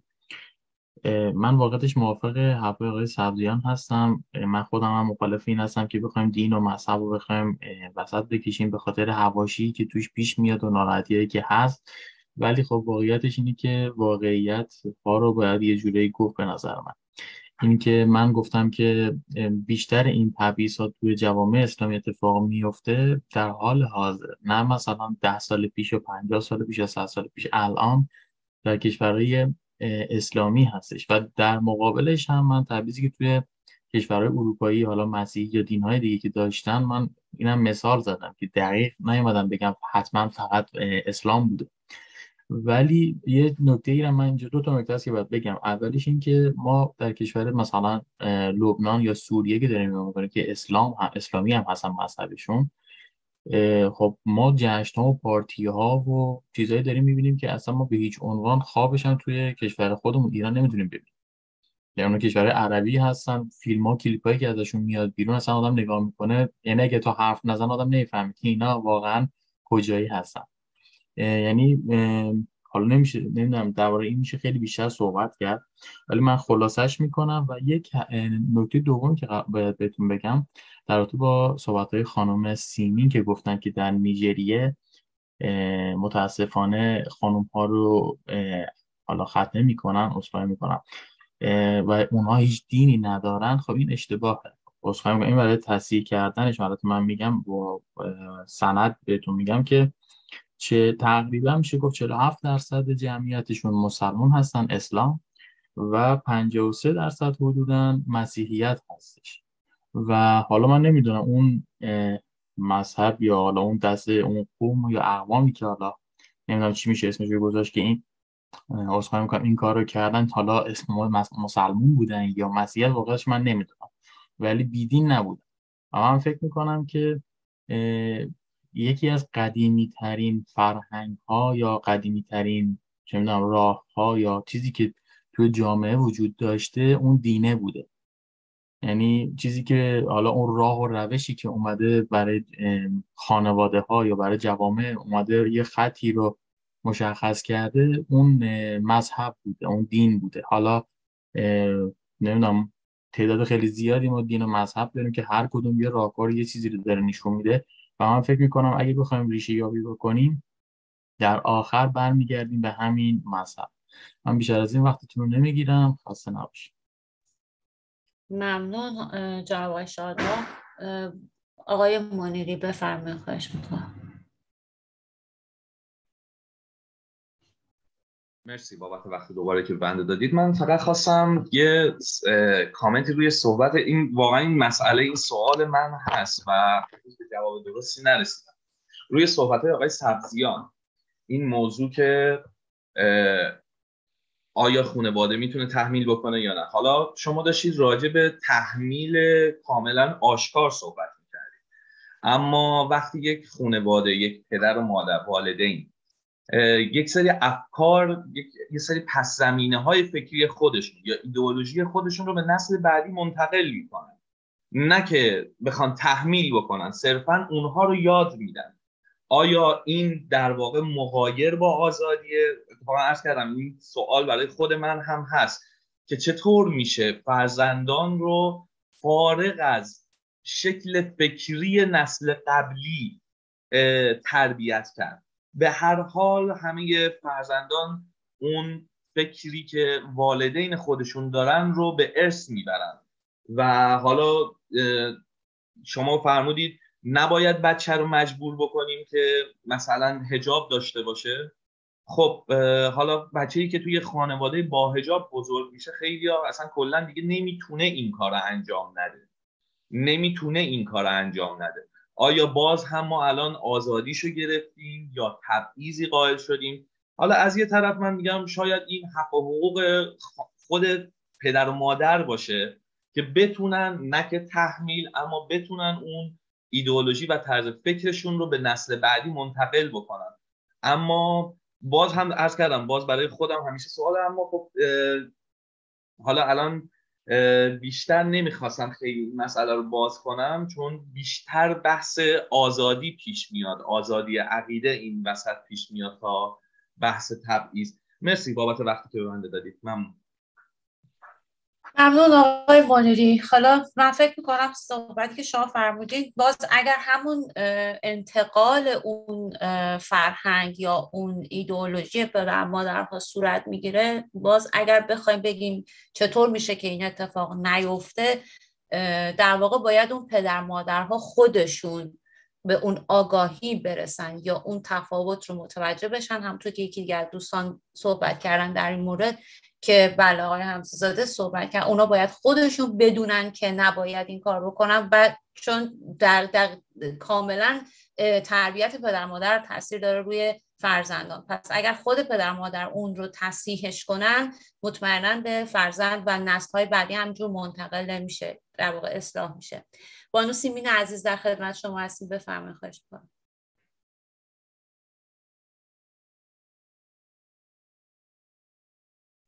مایکتون بسته است. بله الان جناب شادا فرمودن من جمله رو تصحیح می‌کنم بحثم از در مورد نیجریه خشونت های قبیله ای بوده که تو نیجریه اتفاق میفته که این خشونت ها بسیاریش خب عوامل تبعیضا رو در بین خانواده ها و خود افراد جامعه اهم از زن و مرد رو داراست. اما تو بحث ختنه ما همچنان امروزه در بسیار در کشور کنگو و رواندا خیلی این مسئله رو همچنان شاهد هستیم. خیلی هم راه دور نمی‌خواد بریم. حتی تو ایران ما تو بعضی از قبایل جنوب کشور ما تک و توک هنوز این مسائل متاسفانه دیده, دیده میشه. به اضافه اینکه چیز دیگه ای که الان کنگو رو خواستم اشاره کنم که این بحث الان شایع است. به اضافه اینکه یه نکته دیگه ای رو یادداشت کردم. یعنی تو ذهنم سپردم. متاسفانه از ذهنم رفت الان. در تکمیل صحبت جناب شاداب بود.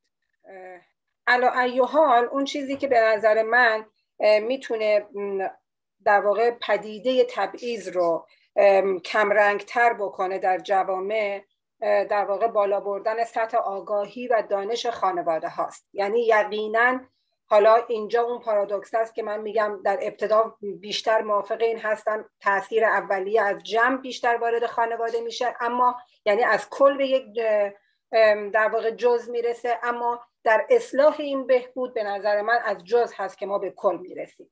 یعنی این آگاهی این در واقع رشد باید از تک تک از خانواده ها اتفاق بیفته تا ما بتونیم این موارد تبعیض آمیز رو از بین ببریم. ممنون از مشارکتتون. جناب سبزیان بفرمایید. خواهش می‌کنم.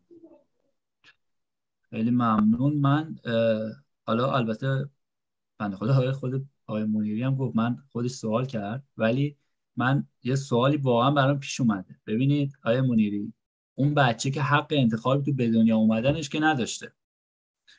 تو دینش هم که نداره.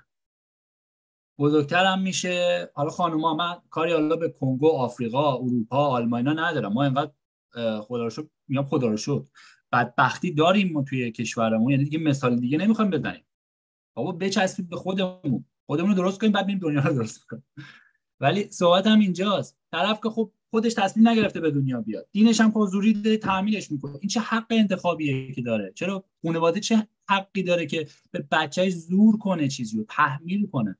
خب من نمیگم صحبت های منیری ها کلی سوال واسه خود من. طرف هیچ حق انتخابی نداره. الان تو خانوما طرف خب حالا آقایون خب یه جور خانوما یه جور. طرف خب خودش که تصمیم نگرفته به دنیا بیاد به دنیا میاد. بعدم میگم مسلمونی. بعدم که خب خانوما میگن خب تو حق انتخاب همسرت هم نداری. خب اه. این بچه شو زندگی؟ این چه زندگیه که این طرف داره؟ زندگی بدون حق انتخاب چیه؟ یعنی چی؟ یعنی چطور ممکنه چه اتفاقی بیفته؟ یه مثالم من بزنم در این مورد. همین چند وقت پیش حالا محرم محرم تموم شد. یه بچه کوچیک نمی‌دونم ویدیوش شما هم دیدید یا نه. باباش داشت قمه می‌زد و اینکه بچه کوچیکش هم یه دونه این کوچولو نیمچه ها بهش داده بود اونم داشت می‌زد. اه. خب این چه حقیه که یه خانواده نسبت به اون بچه داره؟ اینجا نباید جامعه با قانونهاش البته خب جامعه که اصلا حمایت می‌کنه این قضیه رو که اصلا هیچی تو کشور خودمون. ولی جامعه نباید بیاد جلوی این قضیه رو بگیره با قانونهاش. اون کودک چه ظلمی داره بشه؟ این چه چه ستمیه که داره در حق اون کودک میشه؟ اون اصلا نمی‌دونه اینکه واسه چی داره می‌زنه. اصلا واسه چی باید بزنه این کارو بکنه؟ به نظر من بیشتر مسئولیته. باید با مسئولیت اون بچه بزرگ بشه. نه اینکه من پدرتم من مادرتم این کارو بکن. این چه طرز فکریه؟ نمی‌دونم واقعا. ممنون آقای سبزیان. یکی از دلایل حالا من نظر شخصی خودم دنبال روی این خرافاتی که در حالا بقیه ادیان کار ندارم حالا تو کشور خودمون دین رسمی که هست در کشور ما میگم خرافه پرستی که وجود داره. و حتی بسیاری از تبعیض ها هم من فکر کنم تو خانواده ها از همون خرافاتی که از گذشته با خانواده همجور نسل به نسل اومده جلو این اتفاق افتاده. جناب نوروزی در خدمت شما است بفرمایید. مرسی ممنونم. امیدوارم صدام خوب باشه. این یه تیکه فکر کنم اینترنتش یه ذره ضعیفه. از اینجا اگر که قطع شد عذرخواهی می‌کنم. در رابطه با سوال اولم که خدمتتون عرض کرده بودم و آقای سبزیان سوال پرسیدن. معمولا سوال با سوال خب جواب نمیدن.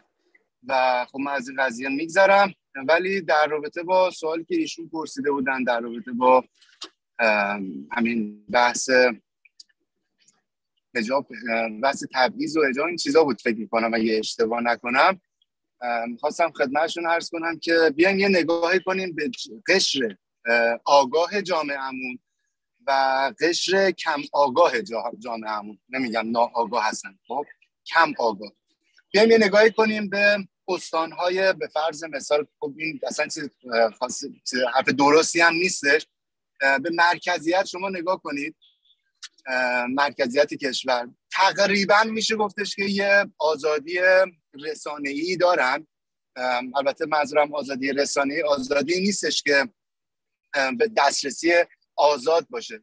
با روش های مختلف خودشون رو به چی میگن رسانه آزاد میرسونن خب؟ و رفتار اون مردم رو می‌تونید البته میگم این حرفای این اشتباه برداشت نشه که حالا بگیم مثلا تو اون قسمت همه چی گل و بلبله. و بقیه جا مثلا بدبختن نه اونا هم مشکلات خودشون رو دارن. ولی من اینو می‌خوام خدمتتون عرض کنم. آیا تنها دلیلش این نمی‌تونه باشه که ما جامعهمون نسبت به این مسائل ناآگاه هست شما قتلای ناموسی رو مثلا شما نگاه کنید. مثلا طرف میاد سر روسری نداشتن سر مثلا دخترش رو می‌بره. یا مثلا با یه پسر رفتن این برنامه میاد نمی‌دونم پسرم چه بلاهایی سرشون میاد. آیا این غیر از اینه که آقا اصلا طرف اصلا نمی‌دونه رابطه یه جنس مخالف یعنی چی؟ اصلا داستان بشه صورته؟ محدود بوده. از اون روزی که به قول معروف اصلا ربطی به نظر من به اسلام و مثلا مسیحیت و بودا و این چیزا اصلا نداره. آقا جامعه فقر آگاهی داره. خیلی راحت بتونم بگم.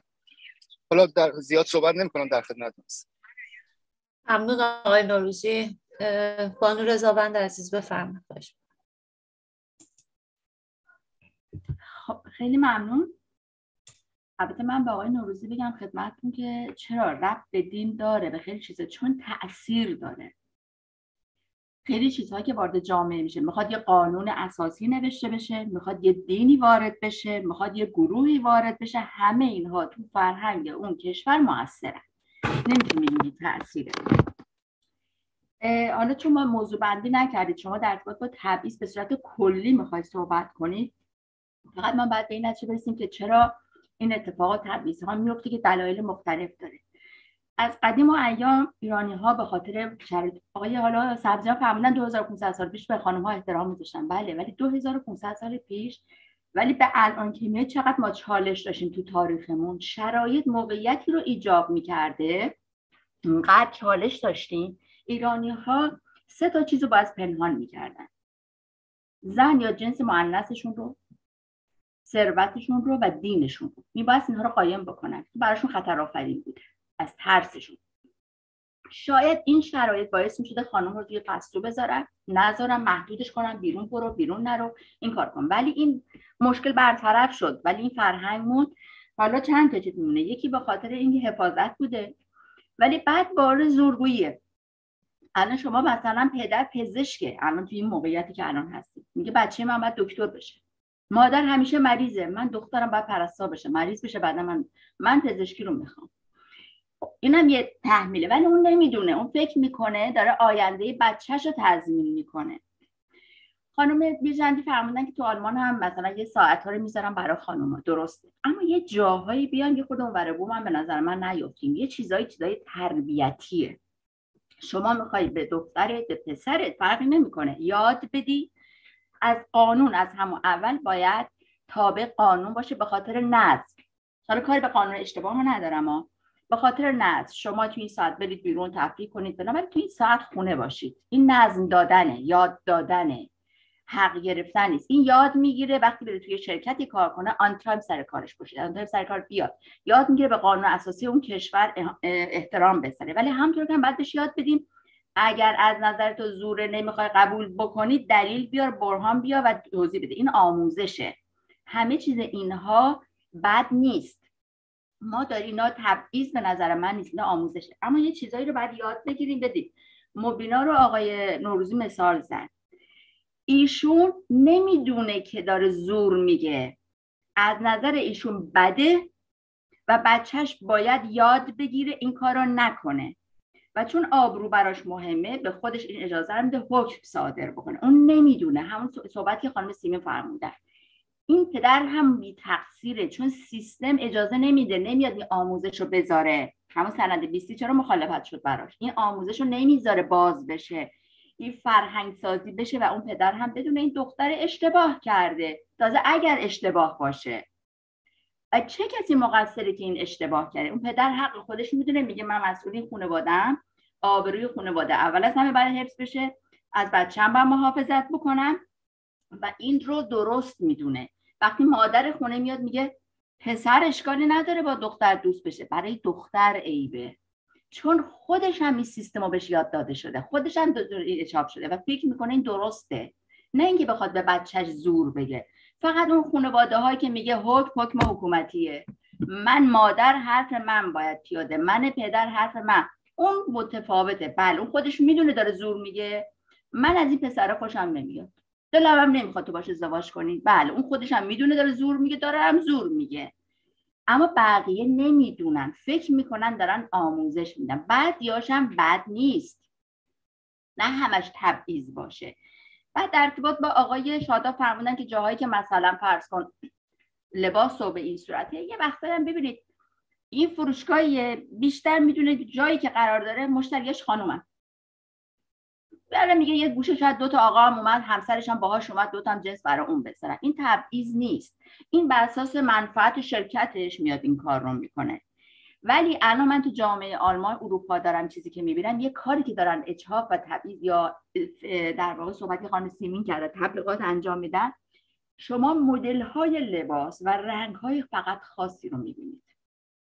یعنی شما رنگ هایی که دوست دارید تو بعضی لباس اصلا نمی‌بینید. یعنی به شما تحمیل میشه. فقط اون لباس رو می‌تونی بپوشید. فقط اون رنگ فقط اون مدل رو یه جای دقت کنید یه مقدار ببینید رنگ های دیگه جاهای دیگه نمی‌بینید.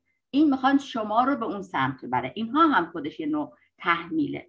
بنابراین کلا می‌خوام بگم که بیاید علت این که شرایط یا فرهنگی یا شرایط اون زمان ایجاب می‌کرده یا خرافات اینکه دلیلاشو پیدا بکنید مورد زیاد است. من الان اگر فقط اینو خیلی سریع بگم چه بیشتر از نشه. پدرم یه بار گفت من سه روز روزه گرفتم. بعدها فهمیدم چه اشتباه بزرگی کردم. هنوز عذاب وجدان دارم چرا اون سه روز روزه گرفتم. ولی ولی من رفتم چادر سر کردم نماز خوندم روزه گرفتم. به من نگفت چرا؟ گفت بذار خودش بره یاد بگیره. و خودم به این نتیجه رسیدم. هم تو آقای سبزیان گفت خوندم متوجه شدم دیدم دیدم اصلا یه چیز موردیه. ولی اگه الان این کارو بکنم با هجاب باشم نباشم قرآن خون بشم اصلا مسجد برم. نمیگه چرا رفتی نمیگه چرا نرفتی. میگه این کتاب این چی خودت بخون انجام بده. ولی همینطور نیستن. چون خودش هم نمی‌دونه. در جریان نیست. کتاب نمی‌خونه. رسانه ما کارتون های ما فیلم های ما اینا رو نشون نمیده. به قول دیروز خانومه داشت می‌گفت. همش زن دوم این داره زندگی اونو خراب کنه اون اینو کار می‌کنه اون این کار می‌کنه. هیچ چیز تربیتی تو هیچ کدوم فیلمامون شما دیدید. اینا آموزش می‌خواد. و کی این کار می‌کنه؟ سیستم. و سیستم به خانواده یاد میده خانواده رو فرزند. پدری که آموزش ندیده چطور می‌تونه به فرزندش یاد بده فرهنگش رو عوض کنه؟ چون قبول نداره. پس هم دین موثره سیستم موثره ماهواره موثره مدرسه موثره همه اینا با هم تاثیر داره. ممنون من ماکرو رها ممنون خانم رضاوند عزیز. آقای حسن زاده خواهی می‌کنم. اگر آقای حمزه زاده اگر بحثتون در مورد خانواده هست شما رو بشنویم. اما اگر وسایل بعدی هستش در ادامه صحبت ها ما باز هم داریم موضوعات دیگر رو. در مورد همین خانواده می‌خواستم بحث بله بفرم می‌خواستم صحبتم با این مثال بهتون بگم. ببینم تو این فروشگاه دیدین یا نه این بطری که توش یه دونه میوه بزرگه بطری مشروب که دهانش خیلی کوچیکه ولی اون بطری توش داخلش میوه بزرگه. که اینا تو اون روزی که خاصش باغبون میاد اون شکوفه رو با شاخه داخل اون بطری قرار میده و این میوه بزرگ میشه. و این همون کاریه که پدر مادر انجام میدن. یعنی با کاشتن یه فکر تو ذهن یه بچه اون فکر یواش یواش ذهن بچه به صورت باور تبدیل میشه. وقتی که بخواد باور بشه یا باید اون بطری رو بشکنید که اون میوه در بیارید یا اینکه نمی‌تونید واقعا از اون دریچه‌ای که داره بخواین در بیارید. و همینطور همین جوریه واقعا فکرهایی که توی ذهن بچه ها میکارن پدر مادرها خیلی تاثیر داره. و به گفته خانم رضاوند من به نظرم باید خانواده اول پدر مادر خودشون این موضوع رو آگاه بشن درک کنن نه با تعلیم و آموزش بلکه با این روش که خودشون اینطور رفتار کنن و بچه ها از رفتار اونا الگو بگیرن و وقتی که میان بیرون تو جامعه میشن همون رئیسی که وقتی خانم یا آقا میاد اونجا نمی‌تونه تبعیض قائل بشه بین اینا چون خودش این موضوع رو درک کرده. و می‌خواستم بگم که دقیقا این فکرهایی که میاد حالا قبیله ای افسانه است از قدیم اومده مونده توی فرهنگی. ولی خب این فکرها واقعا خیلی موثره و ما باید جلوی اونا رو بگیریم. ممنون. جناب زاده خب دوستان به بخش بعدی میریم و مهمانمون آقای مصطفی منیری که به موضوع تبعیض در قوانین کیفری و قوانین اجتماعی و تبعات آن می‌پردازد در خدمتتون هستیم آقای منیری بفرمایید خواهش می‌کنم. سلام مجدد دارم خدمت همکاران عزیز. من پیش از اینکه بحث مستقیم برم سراغ قوانین حالا دوستان گفتن از این منظر خارج بشیم اما از اونجایی که در واقع قوانین جمهوری حالا داریم قوانین جمهوری اسلامی قوانین جمهوری اسلامی رو مد نظر قرار بدیم و مورد بررسی قرار بدیم همونطوری که اسمش روشه جمهوری اسلامی. باید ببینیم این قوانین از کجا نشأت و بر اساس تمام همونطوری که همه دوستان می‌دونن پایه و اساسش قرآنه و اسلام. من کوتاه راجع به حالا من کوتاه راجع به این مسئله صحبت می‌کنم که آیا یه قرآن تبعیضی هست وجود داره؟ ارز کردم خیلی کوتاه اما قضاوت با شما اصلا قصدم این نیست که بگم حالا اسلام بده یا خوب. اما من قرآن رو آیه نسا رو که بررسی می‌کردم می‌خواستم کوتاه راجع به این مسائل صحبت بکنم. آها من یه نکته دیگری هم عرض بکنم راجع به تبعیض راجع به قوانین مربوط به تبعیض. شما اگر اعلامیه جهانی رو یه مطالعه بفرمایید می‌بینیم که هیچ جا راجع به اینکه زنان نسبت به زنان تبعیض صورت می‌گیره یا نسبت به مردان تبعیض صورت می‌گیره وجود نداره. یک جا فقط اون هم نه توی مواد اعلامیه فقط یک جا کلمه زن و مرد رو میاره که حالا من اینو توی مقاله مطرح کرده بودم که اتفاقا دال بر به قول معروف با بصیرت بودن نگارندگان اعلامیه هست که اصلا کلا این تفکیک رو اعمال نمی‌کنن بین زنان و مردان. اما حالا بریم سراغ قرآن.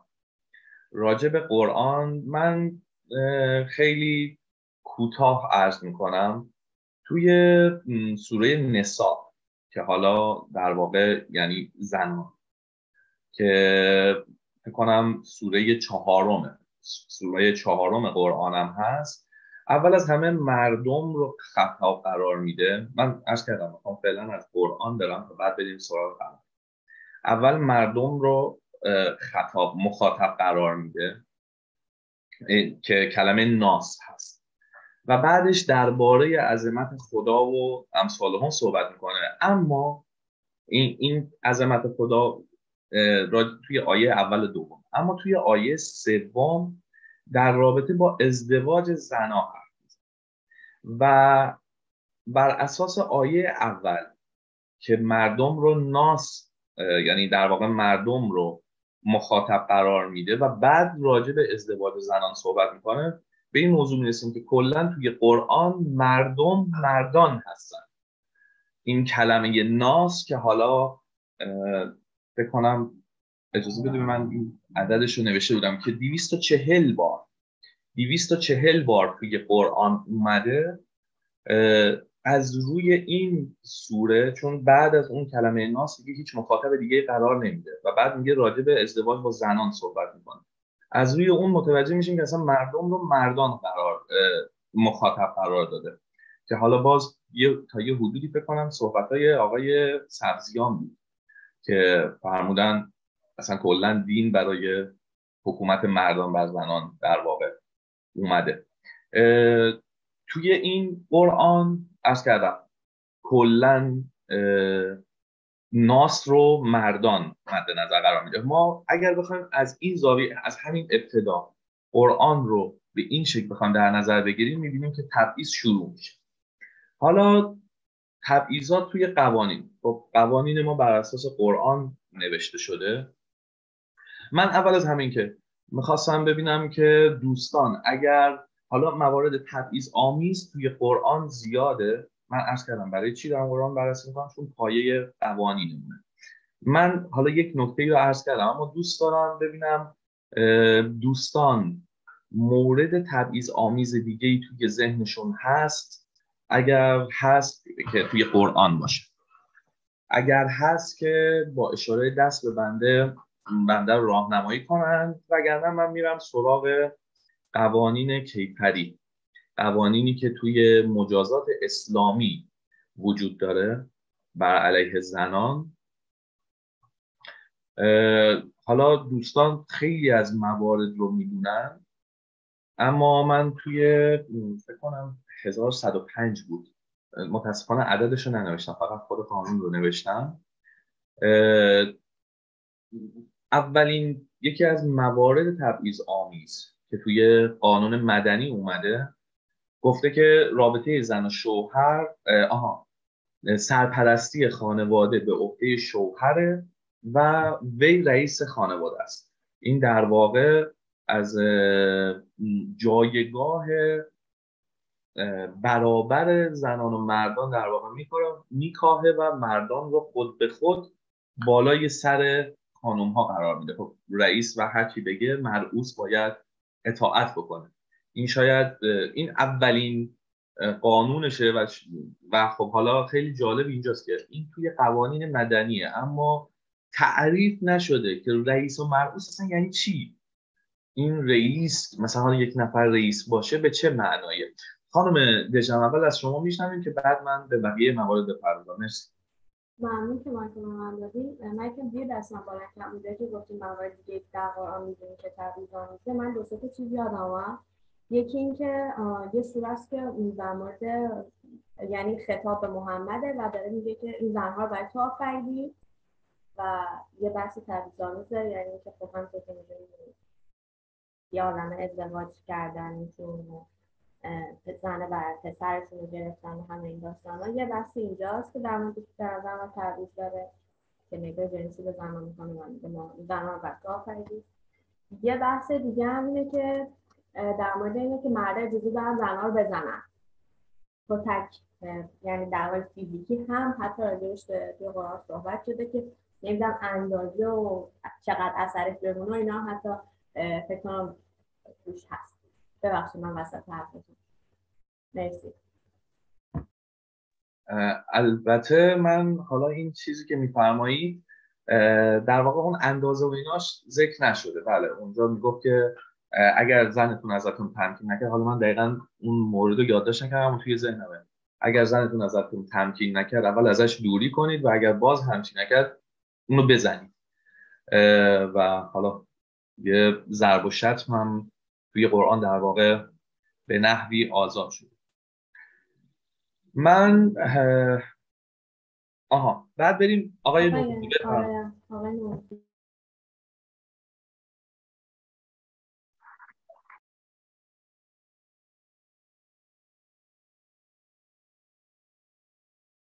مایکتون بسته شده آقای نوروزی صدامو دارین الان؟ بله بفهم مرسی. عرض خدمتتون که البته درست ما تو جامعه ایران داریم صحبت می‌کنیم و خب در رابطه با حالا صحبت دوستان بودش که قانون اساسی بر اساس اسلام نوشته شده ولی می‌خواستم اگه اشتباه نکنم ما توی مسیحیت هم همچین چیزی رو داریم. یه جایی هستش دقیقا نمی‌دونم حالا کدوم قسمتشه دوستان شاید اطلاع دارم به منم بگن. نوشته که اگر مردی زنی را طلاق بدهد. یعنی همین جمله شما دقت کنید. مردی زنی را طلاق بدهد. یعنی نیفته زن مرد رو طلاق بده. یعنی ببینید اصلا کلا دین و این داستان ها همشون یعنی نه فقط قرآن خیلی از حالا کتاب های آسمانی به اصطلاح به اصطلاح نوشته هایی که حالا کاربرد راهبری برای خیلی داره تبعیض توش هست. پس خب تبعیض هم یعنی کتاب هم که نوشته شده برای هزاران سال قبل هستش که اصلا مردم چی میگم حالا نوع زندگی کردن رو شاید بلد نبودن. نه برای الانی که به قول معروف ما چی میگن سفینه داریم میفرستیم فضا.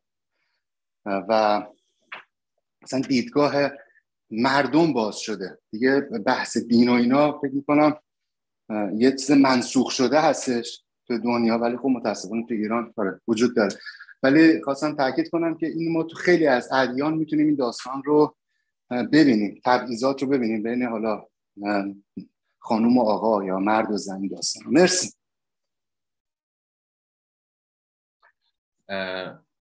مرسی آقای نوروزی. بله حالا توی خود کتاب مقدس توی انجیل هم باز دقیقا مواردی میشه پیدا کرد اما همونطور که خودتون فرمودی در حال حاضر بحث ما بحث اسلام فعلا بحث جمهوری اسلامی به این دلیل. وگرنه ادیان مختلف هم شما اگر نگاه بکنید خب تقریبا همشون اون کسایی که به قول خودمون مردان خدا محسوب میشن همیشه اصلا کلا میگیم مردان خدا. یعنی انسانهای بالا دست ادیان بیشتر مردان شما زنان رو نمی‌بینید. و خب دقیقا حرف شما صحیح. اما خب عرض کردم من فعلا در حال حاضر اسلام رو بیشتر مد نظر قرار دادم. و همونطوری هم که فرمودید آقای نوروزی فعلا دقیقا کشورهای مدرن دیگه این بحث مذهب رو پشت سر گذاشتن و از این مسئله کلا گذر کرد اما ایران متاسفانه توی قرن 21 همچنان توی این مسئله مونده. ادامه میدم به یک سری مواد قانونی دیگه که ببینیم در واقع کجا هاست که می‌تونه یعنی خیلی کوتاه عرض کردم چون موارد زیاده. یه لحظه من متاسفانه بله. جالبه. بدونیم که یکی از مواردی که راجع به نفقه. نفقه یکی از موارد پرحاشیه توی قوانین مدنیه که حالا می‌خوایم راجع به نفقه هم یه صحبتی بکنیم. و توی قوانین مدنی اومده که زن باید از شوهر خود اطاعت و تمکین کنه. کلمه باید دقیقا اومده توی این قانون مدنی در غیر این صورت از داشتن حق خرجی و نفقه محروم خواهد شد. حالا من خیلی از جاها این یک سری سایت های در واقع دینی رو که بررسی بررسی کردم متوجه شدم که خیلی وقتا بحث تبعیض رو به این شکل در واقع توجیه می‌کنن که خب میگن جاهایی که در واقع زنها حقشون محروم از حقشون محروم شدن اما یک سری امتیازاتی هم از یک سوی دیگه براشون مشخص شد. یه مورد دیگر رو که باید خدمت دوستان عرض بکنم راجع به حق تبعیض اینها توی قوانین مدنی هست. که میگه که زن باید در منزلی سکنا گزینه که شوهر برای وی تعیین کرده. حالا اینها رو من پیتوار رد میشم چون همه دوستان در جریان اینها هستن.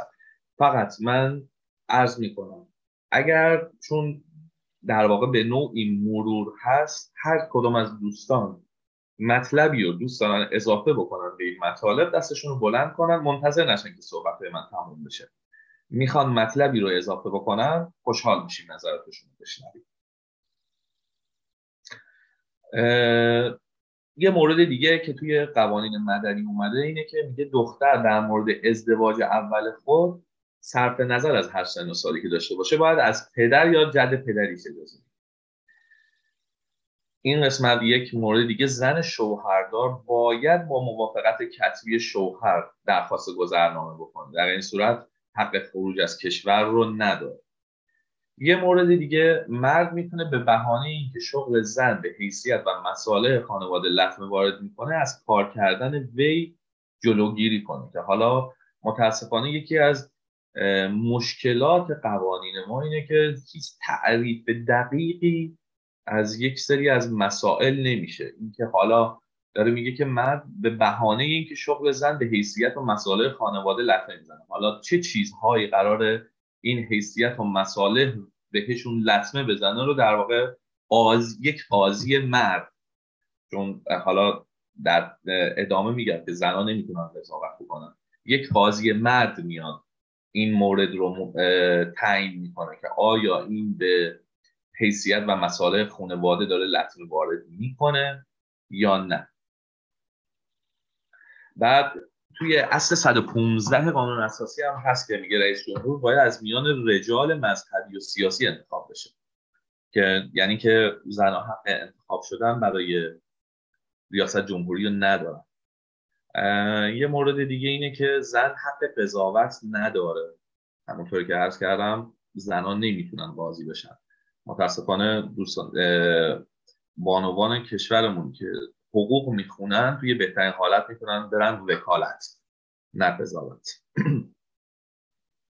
بحث ارث هم که یک چیز مشخصیه که حالا پسر دو برابر دختر از اموال پدر و مادر ارث می‌بره. که حالا جالب اینجاست. و همونطور دقیقا شوهر پس از مرگ زنش یه چهارم اموال به ارث می‌بره اما زن پس از مرگ شوهرش یک هشتم. حالا جالب اینجاست که این قانون به تازگی تغییر کرده. قبلا اینجوری بود که یک هشتم اموال منقول یعنی چیزهایی که قابل جابجایی هستن. اما الان تازگی ها باز دوباره قانون رو تغییر دادن یک هشتم اموال منقول و غیره. زن به ارث می‌بره.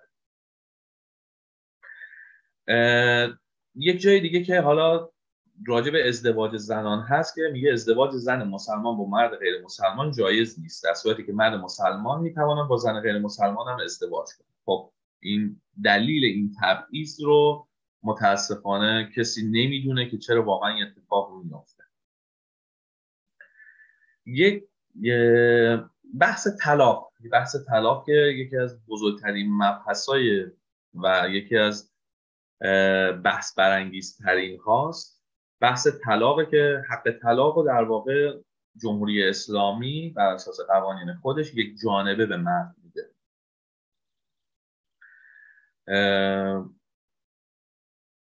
و حالا توی کلا یکی از مسئولین اعلام کرده بود که اصولا طلاق دست مرده و از ابقاعات اونه. و حق هزانت گزینه بعدی من از کردم. حالا همینجور می‌بینیم که تبعیضات یکی دوتا هم نیست. هر کدوم از اینها چقدر می‌تونه مورد پایمال شدن حقوق زنان باشه؟ حق هزانت حق هزانت فرزندم پس از مرگ شوهر که با وقوع طلاق بوده از آن زن نیست. مطابق قانون مدنی جمهوری اسلامی پس از وقوع طلاق دختران هفت ساله به بالا و پسران فکر کنم اینجا حالا حتی اینجا نوشتم پسران دو ساله البته فکر کنم حالا دقیقا و پسران دو ساله به بالا به پدر تعلق دارن و در صورت مرگ پدر به پدر بزرگ و عمو. و جالب اینجاست حتی اینجا مادر هم حق هزانت فرزند رو نداره. حتی در صورت مرگ پدر.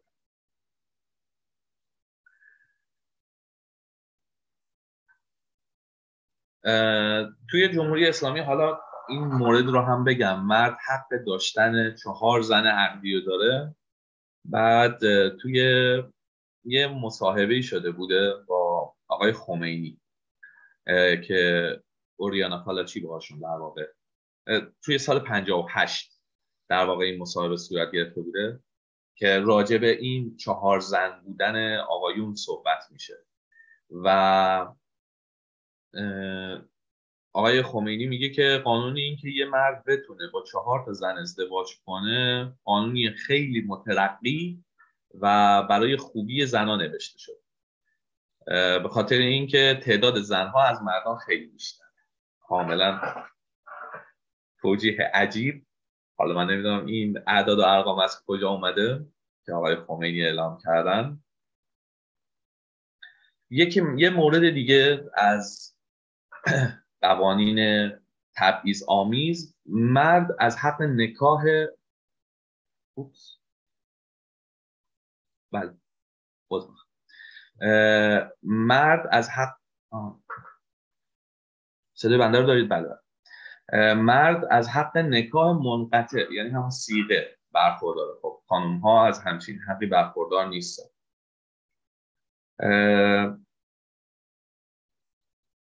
یه ماده حالا من نمی‌دونم اینو من پیداش نکردم. اونجایی که به شوهر این حق رو میده که اگر زن خودش رو در حال همبستری با یک شخص دیگه ببینه بهش اجازه این اجازه رو میده که اون شخص رو بکشه. البته یک جای خونده بودم که اگر مردی این حالت زن خودش رو ببینه و بکشه قصاص شامل حالش نمیشه.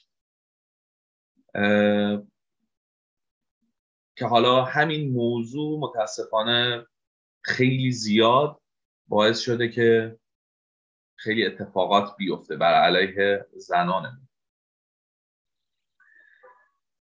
و حالا جمهوری اسلامی یه سن قانونی ازدواج هم برای دخترها به 13 سالگی تقلیل داده که خب باعث وقایع کودک همسری میشه.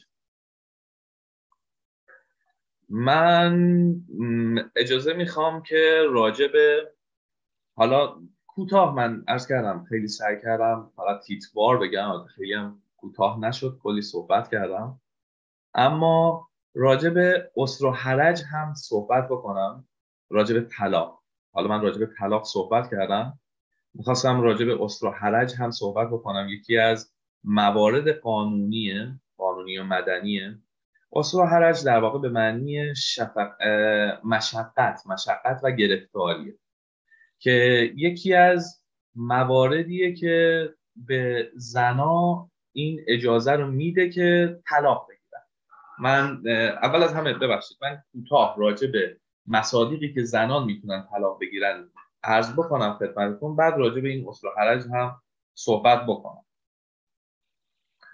مواردی که خانم ها می‌تونن از آقایون طلاق بگیرن یکی اینه که مرد خونه به مدت 6 ماه متوالی کلا خونه رو ترک بکنه. یعنی 6 ماه مرد نباشه باید 6 ماه طول بکشه که مرد نباشه که اون زن بتونه طلاق بگیره. یا تو یک سال نه ماه نباشه. یعنی شما اگر یک مرد هستید و فقط سه ماه و یک روز توی خونه باشی کفایت می‌کنه و اون زن دیگه حق نداره بخواد طلاق بگیره. همچین حقی رو نداره. خب اینها در واقع مسائلی هستن که به آقایون اجازه میده که هر کار دلشون می‌خواد انجام بدن دیگه. و اون طرف هم عرض کردم که کامل حق طلاق با آقایون بود. یکی از چیزهای دیگه بحث اعتیاد شوهره اعتیاد مرده که به زن این اجازه رو میده که طلاق بگیره. بعد محکومیت مرد به بیش از پنج ساله محکومیت مرد, مرد به حبس به بیش از پنج سال و در واقع ضرب و جرح زن از طرف مرد هم باز باعث طلاق میشه اما حالا همه اینا در واقع باید اثبات بشن. و این اثبات همه این مسائل یکی از مشکلات بزرگ خانوم ها خواهد بود. بیماری صعب العلاج هم جز مواردی هست که خانم ها می‌تونن بر به اون استدلال بکنن و حکم طلاق رو بگیرن. ارز کردم راجع به اسر حرج هم صحبت کردم. اسر حرج در واقع مشقتی که این موضوع در واقع باید قاضی تشخیص بده که این مشقت برای اون زن وجود داره این سختی که حالا بر اساس یه سری مواد یه سری معیارهاست که باز هم عرض کردم قرار قاضی که خودش مرد هست تصمیم بگیره و اونها رو اعمال بکنه. من خیلی عرض کردم سعی کردم کوتاه توضیح بدم اما انقدر قوانین زیاده بر علیه زنان که متاسفانه خیلی وقت گرفت. مرسی. خانم آقای سبزیان در خدمت شما هست خیلی ممنون که دوباره ما رو در اختیار من قرار دادید. من خب بحث زیاده. یک مورد دیگه هم هست که من فکر ماه پیش دو ماه پیش دقیق خاطرم نیست. جلسه کمیته زنان اشاره کردم که من هم دیدم هم شنیدم حتی فیلمش هم هست. این که اگر یه مردی یه خانومی رو بکشه و اون خانواده اون خانوم بخواد اون مرد حالا قصاص من با حق حیات ندارم کاملا مخالفم با اعدام. ولی حتی تو این مورد هم ظلم شده در حق ها یعنی اگر یه آقایی یه خانم رو بکشه بعد اون خانواده اون خانومه بخوام قصاص انجام بدن و اعدام انجام بدن که حتی من با صد درصد باش مخالف هستم باید نصف دیگه اون آخر بدن. یعنی بعد پول بدن قاتل یعنی اصلا اصلا نمی اصلا یعنی چی؟ خب؟ و یه موردی از کل صحبت های شما من یه نتیجه همینجوری داشتم فکر می‌کردم و یعنی هم که داشتم صحبتتون گوش می‌کردم. داشتم به این فکر می‌کردم تعریف بردگی چیه؟ خب یه لول میایم پایین میشه الان حق حقوق زنان در جمهوری اسلامی ایران. چیزی که من فهمیدم یعنی چیزی که من احساس کردم با قوانینی که شما خودتون گفتید درسته؟ یعنی چیزی که تو ذهن من اومد این که بردگی یه ذره دیگه میایم پایین یه لول میایم پایینتر میشه اتفاقایی که قوانینی که برای خانم‌ها داره تو کشور ما میفته. این چیزی که من بهش دارم می‌رسم با اساس صحبت شما. طرف که هیچ حقی نداره. ببینید بردگی یا اینکه طرف اونجا به دنیا میاد یا اینکه میخرنش دیگه. حالا به دنیا اومده بعد حتی یه سری جا هم که مثلا شیربهار هم شما اشاره نکردید که مثلا طرفو میفروشه دیگه. غیر از اینه میفروشه میگه آقا خب بعد همون میشه دیگه. بردگی یعنی چی؟ هیچ حق انتخاب که بهش نمی‌دید. فقط داره زنده میمونه. زندگی می‌کنه زندگی نمی‌کنه. زنده است پس. حق انتخاب که نداره. حتی وقتی هم فروخته میشه عملا ازدواج می‌کنه با اون شیربهاه یا با همون مهریه دوباره بعد بره دوباره زیر سلطه اون آقاه اون مرد خونه. پس عملا به نظر من من از صحبت شما به این نتیجه رسیدم که داشتم فکر می‌کردم پس بردگیه. حالا ما نمیگیم بردگی مطلق. حالا یه لول پایین تره ولی فکر نکنم با بردگی تفاوت چندانی داشته باشه. البته نظر من حالا شاید دوستان نظرات دیگه داشته باشه. مثل برداری مدرن دقیقا درسته. آقای مانیری قبل از که ادامه صحبتاتون رو بدین شما من خواستم یه چیزی راجع به نفقه اتفاقا بگم که نمی‌دونم آقای دوستان می‌دونن. اگر خانومی با وجودی که حالا قانون نفقه هست و حالا به گفته شما همون شیربهایی که میگیم در قانون اگر یک خانومی مثلا بخواد که نفقه یا همون شیربهایی که براش تعیین شده رو بگیره که البته من این رو در نفقه عرض می‌کنم. باید در ابتدا اون خانم ثابت بکنه که به بچه به مدت یک سال شیر داده. در غیر این صورت نمی‌تونه نفقه رو بگیره. باید اون زن ثابت کنه که تو خونه کار خونه انجام داده و تمکین کرده و تو خونه بوده. می‌خوام یعنی یه چیزی رو بگم که این واقعا که از نظر من که خب اگه یه زنی توی خونه به بچه شیر داده خب کی دیده؟ مثلا در همسایه آدم باید بره چیز استشاد جمع بکنه که بگم من به بچم شیر دادم که بتونه نفقه بگیره. و حالا من کلا اصلا با قانون نفقه موافق نیستم ولی کلا دارم قوانین رو میگم که به چه صورته. و یه موضوع بدتر از همه این که بازم اگه یه خانم اگه بخواد نفقه بگیره نسبت به میزان تحصیلاتش. و همینطور سطح مثلا درآمد یا ثروت حتی از نظر خانوادگی کاملا متفاوت با یه خانم خاندار. یعنی مبلغی که نفقه برای خانم تحصیل کرده یا خانمی که شاغل هست در نظر گرفته میشه با یه خانم خاندار کاملا متفاوت هست و اینا رو در نفقه در نظر می‌گیرن. خب بفرمایید جناب آقای مانیری. من اتفاقا حالا خانم رضاوند در واقع تایپ کردن که در ادامه صحبت شماست خانم بیرجندی همون بحث نفقه. حالا اول از همه شیربها در واقع من یه تفکیکی اینجا صورت بدم. شیربها در واقع پولیه که مرد به خانواده زن میده اما نفقه در واقع خرجی خود اون زنه. شیربه ها رو من قانون خاصی توی قوانین مدنی ندیدم. در واقع یه چیز فرهنگیه. و یک چیز عرفیه نه یک چیز قانونی و حقوقی. اما خب همونطوری که شما فرمودید سرزیان در واقع ها به نوعی فروخته شدن فرزند به خانواده هست. براشون فقط این مهمه. اما حالا اتفاقا بحث جالبی پیش اومد بحث نفقه. حالا البته خانم رضاوند راجع به هزانت فرزند هم گفت بله موارد زیادی هست. اگر دقیقا حالا خانم رضاوند همه رو نوشتن و سیمین خانم هم. او من حواسم نبود. دوستان همه فقط تایپ کردن. من اون لحظه متوجه نشدم. خیلی از دوستان راجع به موارد دیگه تبعیض هم صحبت کردن. خب همه آشنا هستید. من یک یه قانونی خوندم برای خود من. عجیب بود. تا به حال این رو نخونده بودم. و اصلا نمی‌دونستم همچین قانونی وجود داره.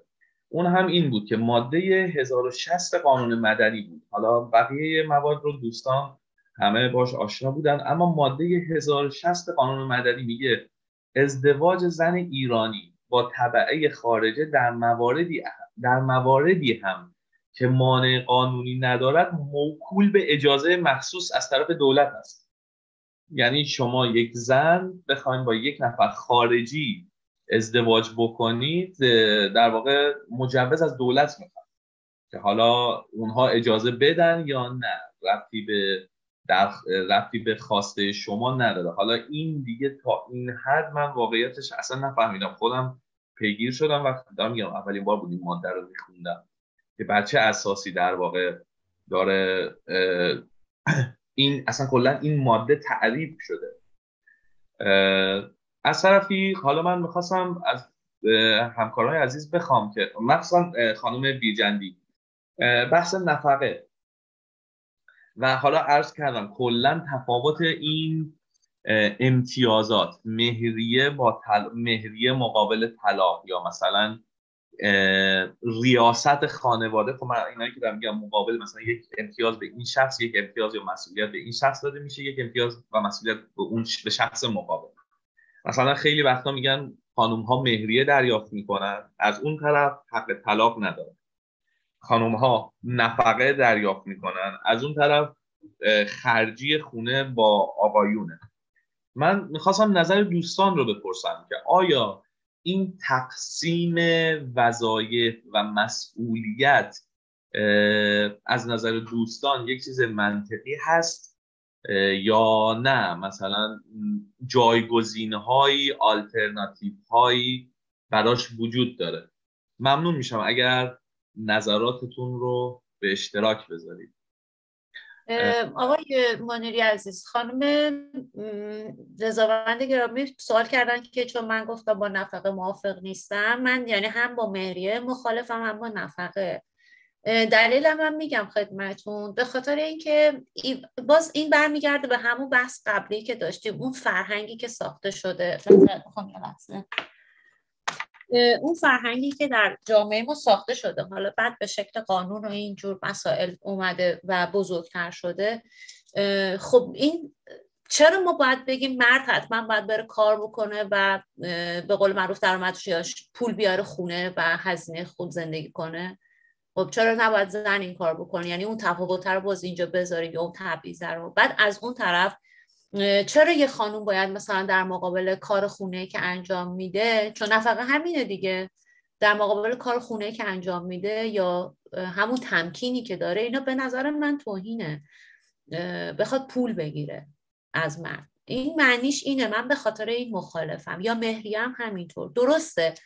صحبت از یک پشتیبانی یک حمایت یک چیزی برای یک خانومه که در زمانی که جدا بشه اگر یه خانمی در طول تایمی که با یه آقای زندگی می‌کرده بعد جدا بشه و شغلی نداشته و کاری نکرده باشه خب وقتی از اون زندگی خارج بشه مطمئنا با مشکلات بزرگی روبرو میشه از جمله مشکلات مالی. کاملا با این موافقم. اما وقتی یک قضیه ای مثل قوانینی که الان در کشورهای دیگه هست یه تصاوی بینشون باشه یه مساواتی بین زن و مرد وجود داشته باشه از نظر اموال که اگه یه خانمی کارم نکرد از اون زندگی خارج شد و هر دو با هم یه چیزی رو ساختن بتونن اینو تقسیم کنن با هم دیگه باز این خیلی بهتره. تا اینکه به قول آقای سبسیان قضیه همون بردگی مدرنه باشه. یعنی یا همون فروختن اون زن در مقابل مثلا اون مبلغی که براش تعیین میشه. و باز مثلا توی اون نقطه اون روزی که می‌خوان مهریه تعیین بکنن اون بحث و اختلافی که بین خانواده هاست که نه مثلا من 100 تا بیشتر نمیدم نه ما دخترمون باید تاریخ تولدش باشه یا 500 تا باشه. اینا اون بحث به نظر من حتی همون حرفا هم توهین هست به شخصیت اون دختری که می‌خواد ازدواج بکنه. من صرفا به خاطر این چیزا مخالفم. حالا صد درصد هم راه حل اینو نمی‌دونم که باز بگیم بیایم همه چی رو تقسیم بکنیم. ولی به هر حال یه جوری باید اون توافق بین اون زن و مردی که می‌خوان زندگی روشون رو با هم بسازن صورت بگیره که اگر یه زمانی از هم جدا شدن هم باز یه یه چیز معمولی در واقع در حدی که به اون زن خیلی فشار نیاره وجود داشته باشه. خب بانو سیمین عزیز شما رو بشنویم.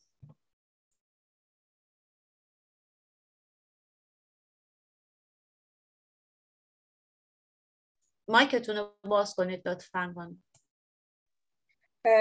تشکر می‌کنم از جناب منیری بابت مبحثی که در اختیار دوستان قرار دادن. تنها نکته ای که به ذهن من اومد علیرغم تمام کاستی های موجود در قوانین که به کم هم نیستند و بیش از این چیزها مواردی هستند که الان ایشون شمردند با این حال یه بخشی از این در واقع مشکلاتی که دامنگیر خانوم ها میشه برمیگرده به عدم شناختی که خانوم ها از میزان در واقع آگاهی اون آگاهی هستش که خودشون نسبت به برخی از قوانین ندارن. به عنوان مثال همونجوری که الان تو صحبت ها گفته شد بله بحث طلاق مختص آقایون هست بحث هزانت همینجور. خب سن دختر پسر متفاوت اما یه خانوم حداقل اگر این رو واقعا متوجه باشه که در ابتدای پوکمان همین اون دفتره رو نشینه همینجور تند تند امضا کنه یه زحمت بکشه حداقل یه ذره بخونه یا از قبل یا قبلتر اونا رو خونده باشه یا نه حداقل این آگاهی رو داشته باشه که برای خودش این حق رو درخواست بکنه می‌تونه در همون ابتدا جزء شروط ضمن عقد این رو برای خودش در نظر بگیره که من حق طلاق رو می‌خوام حق طلاق رو به خودش برگردونه هزانت بچه رو به خودش برگردونه و حداقل جلوی بس خیلی از مواردی رو که می‌تونه بعدها دانش بشه رو این به نظر من واقعا خیلی از ما خانم ها این مسائل چون آگاهی نداریم متاسفانه پوانه در دام خیلی از اتفاقاتی میافتیم که خودخواستن امضا کرد به اضافه اینکه تو بحث تمکین متاسفانه متاسفانه مسئله ای که وجود داره کار کردن خانوم نیست. متاسفانه باید بگیم که عدم در واقع توجه خانوم به ارزای میل جنسی آقایون در نظر گرفته و تعریف میشه. وقتی صحبت از تمکین میاد شما اولین مثالی رو که یک آقا می‌تونه توی دادگاه در, موقع در واقع داشته باشه همین مسئله است که خانوم من مثلا تو بحث جنسی تمکین نمی‌کنه. و این مسئله دیگه اون وقت خیلی حالا دردناکتر خواهد بود که تو چطور باید بیای اینو ثابت بکنی. یعنی می‌دونید بعضی از مواقع نقص ها به حدی واضح و مبرهن هستند که اصلا دیگه جای سوال باقی نمیمونه که من برای اثبات یک همچی چیزی که آیا این رو دارم یا ندارم باید چه دستاویزی رو من بیام بهش متمسک بشم و اونو ارائه بدم. یکی دیگه از مواردی که گفتن که بحث ازدواج طبعه خارجی با ایرانی متاسفانه توی برخی از پاسخ و جواب هایی که من در رابطه با اینکه چرا اصلا یه همچی چیزی رو ما اومدیم دولت باید اجازه بده خوندم. باز متاسفانه به یک جواب در واقع خندهدار و مسخره آمیزی می‌رسیم. مبنی بر اینکه دولت باید رزومه اون فرد رو یه بررسی بکنه ببینه که شاید اون فرد جاسوس نباشه. یعنی می‌دونید کنکاش در جزئی ترین روابط انسان ها در واقع سرک کشیدن تو جزئی ترین روابط انسانی آدم ها رو ما متاسفانه با یه نگاه اجمالی به برخی از این بندهای قانون اساسیمون می‌تونیم کاملا ببینیم.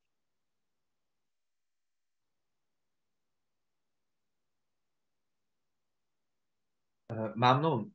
خانم دژم صحبت شما رو من دیگه صداتون ضعیفه خانم دژم. ببخشید. الان هست صداتون هست اما ضعیف. نمی‌دونم.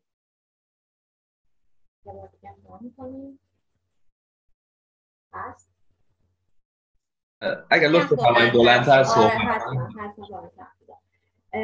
اینکه آها در مورد این طبعه ازدواج طبعه خارجی یه مسئله دیگه هم وجود داره از اینکه دولت تصمیم می‌گیره و باید ازدواج بخونه. و اینها اینه که حتما اون فرد باید مسلمان باشد و دارای نام نام ایرانی اسلامی باشه. یعنی اگه اسمش هر چیز دیگه هست بعد از اینکه در دینش رو عوض کرد اسمش هم با عوض کن جز اجبارات یه مورد دیگه هم در مورد قوانین که صحبت کردن خانم سیمی که می‌تونن زنها ضمن عقد داشته باشن. یه, چیزی که خیلی نمی‌دونم که در موردش اونم اینه که اینجوری نیست که اگر شما از حق حقوقی به عنوان یک زن می‌خواین بهرهمند باشید اینو مثلا توی سر سفره بگید و بنویسن تو دفترچه سند ازدواجتون و تمام.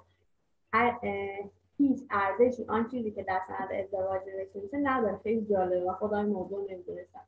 اگر شما می‌خواید از حق حقوقی برخوردار باشید توی ایران به عنوان یک زن چیزی که حالا بگیرید مثل همین که زن فرزن حق طلاق یا دیگه اینو باید برید به دفاتر رسمی ثبت و این چیزا. اونایی که مثلا خونه و ماشین به اسمتون میدن. اونجا این حق حقوقتون رو بگیرید امضا کنید شوهرتون امضا کنید و اون موقع اگر شما در آینده به مشکل برخوردید با ارائه این سند توی دادگاه می‌تونید ثابت کنید که شما از این حقوق برخورداری نه آن چیزی که چه سند ازدواجتون نوشته میشه خیلی مسئله است و اینکه یه سری حقوق هست. اصلا من تازگی ها یعنی متوجه این موضوع شدم به خاطر حالا وصلتی که اتفاق افتاده بود افتاد توی خانواده ما و یه خانمی وارد شده بودن که دقیقا تمام حقوقشون رو گرفته بودن از حضانت فرزن از حق طلاق از اجازه تحصیل در خارج از کشور اجازه خروج از کشور هر آنچه فکر کنید بهشون گرفته بودن. بعدا که توی فامیل در صحبت کردیم راحت می‌تونم بگم که صد درصد خانم ها اصلا نمی‌دونستیم که ما چه حق حقوقی داریم تو ایران خیلی عجیبه.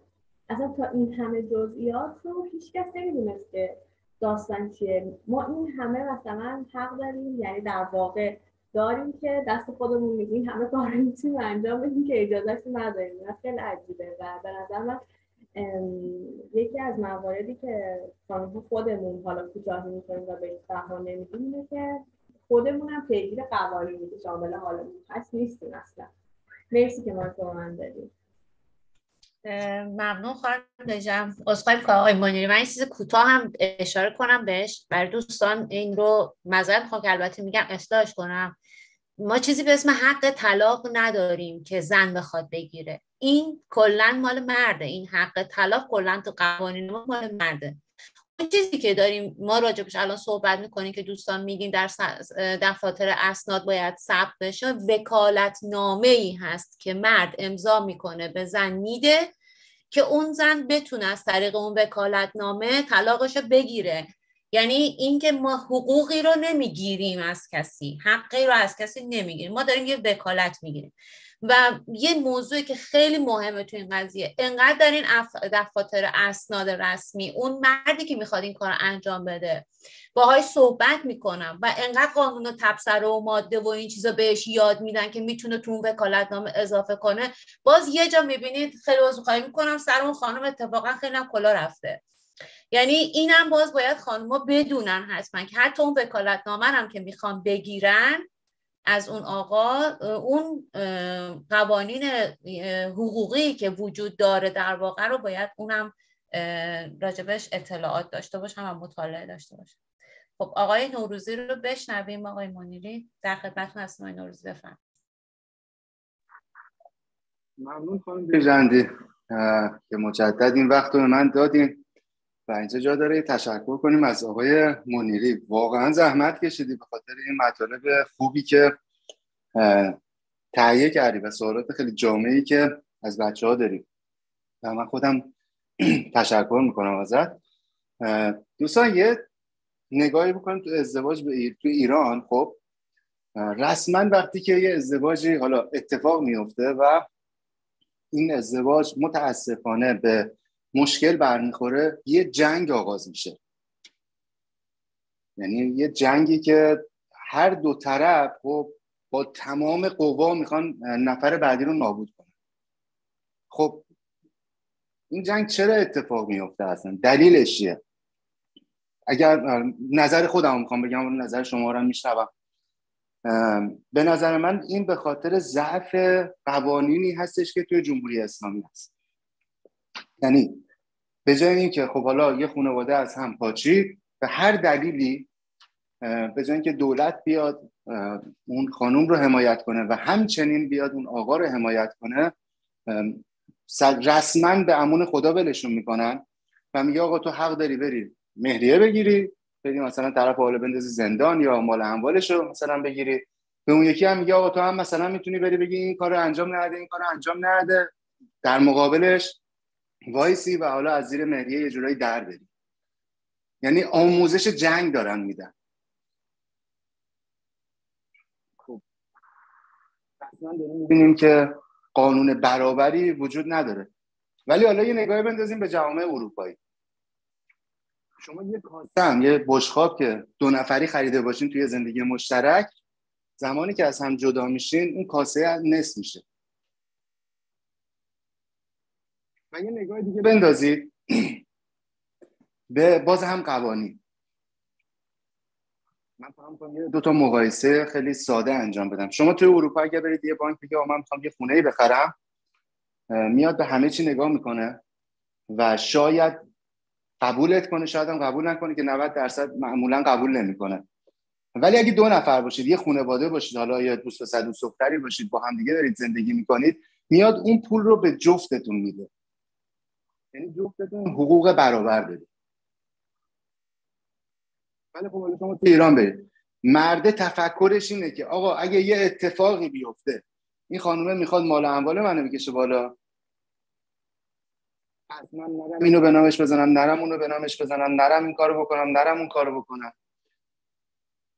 از اون طرف آقاه خب هزار یه دونه فکر داره. اگه فردا روز این اتفاق افتاد من چجوری می‌تونم مقابل این وایسم که کم نیارم؟ بازم برمیگردیم به اون حقوق نابرابری که وجود داره. یعنی برای جفتشون خیلی خانم خیلی شیک و راحت. آقا رو میندازه توی زندان. حالا ماهی یه سکه نمی‌دونم نیم سکه نمی‌دونم قانونش به چه صورته. باید ازش می‌گیره. یعنی اون پول ازش می‌گیره به هر حال. حالا مردم میاد خونه و و زندگیشو به نام ایکس و ایگرگ می‌زنه. و متاسفانه دوستان من یه چیزی می‌خوام خدمت ارز کنم. همه عزیزان صد درصد اینجا هستن خیلی مطالعه دارن خیلی روشن فکر هستن قوانین رو تقریبا بلدن. ولی ما داریم می‌بینیم که این فکر اشتباه که این فکر اشتباه متاسفانه توی جامعه ایرانی خارج از ایران هم داره اتفاق میفته طرف داره میگه داریم می‌بینیم دیگه شاید حالا حرف من خیلی حرف سنگینی نیستش.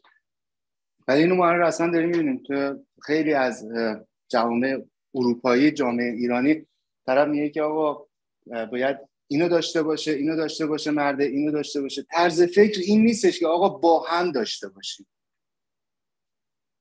ما که می‌خوایم یه زندگی رو شروع بکنیم بیاید با هم داشته باشیم نه اینکه من بیام به قول معروف توی یه دونه ویلای آنچنانی بشینم و پا بنزم رو پا بگم. خب همه از روز اول مهیا بوده.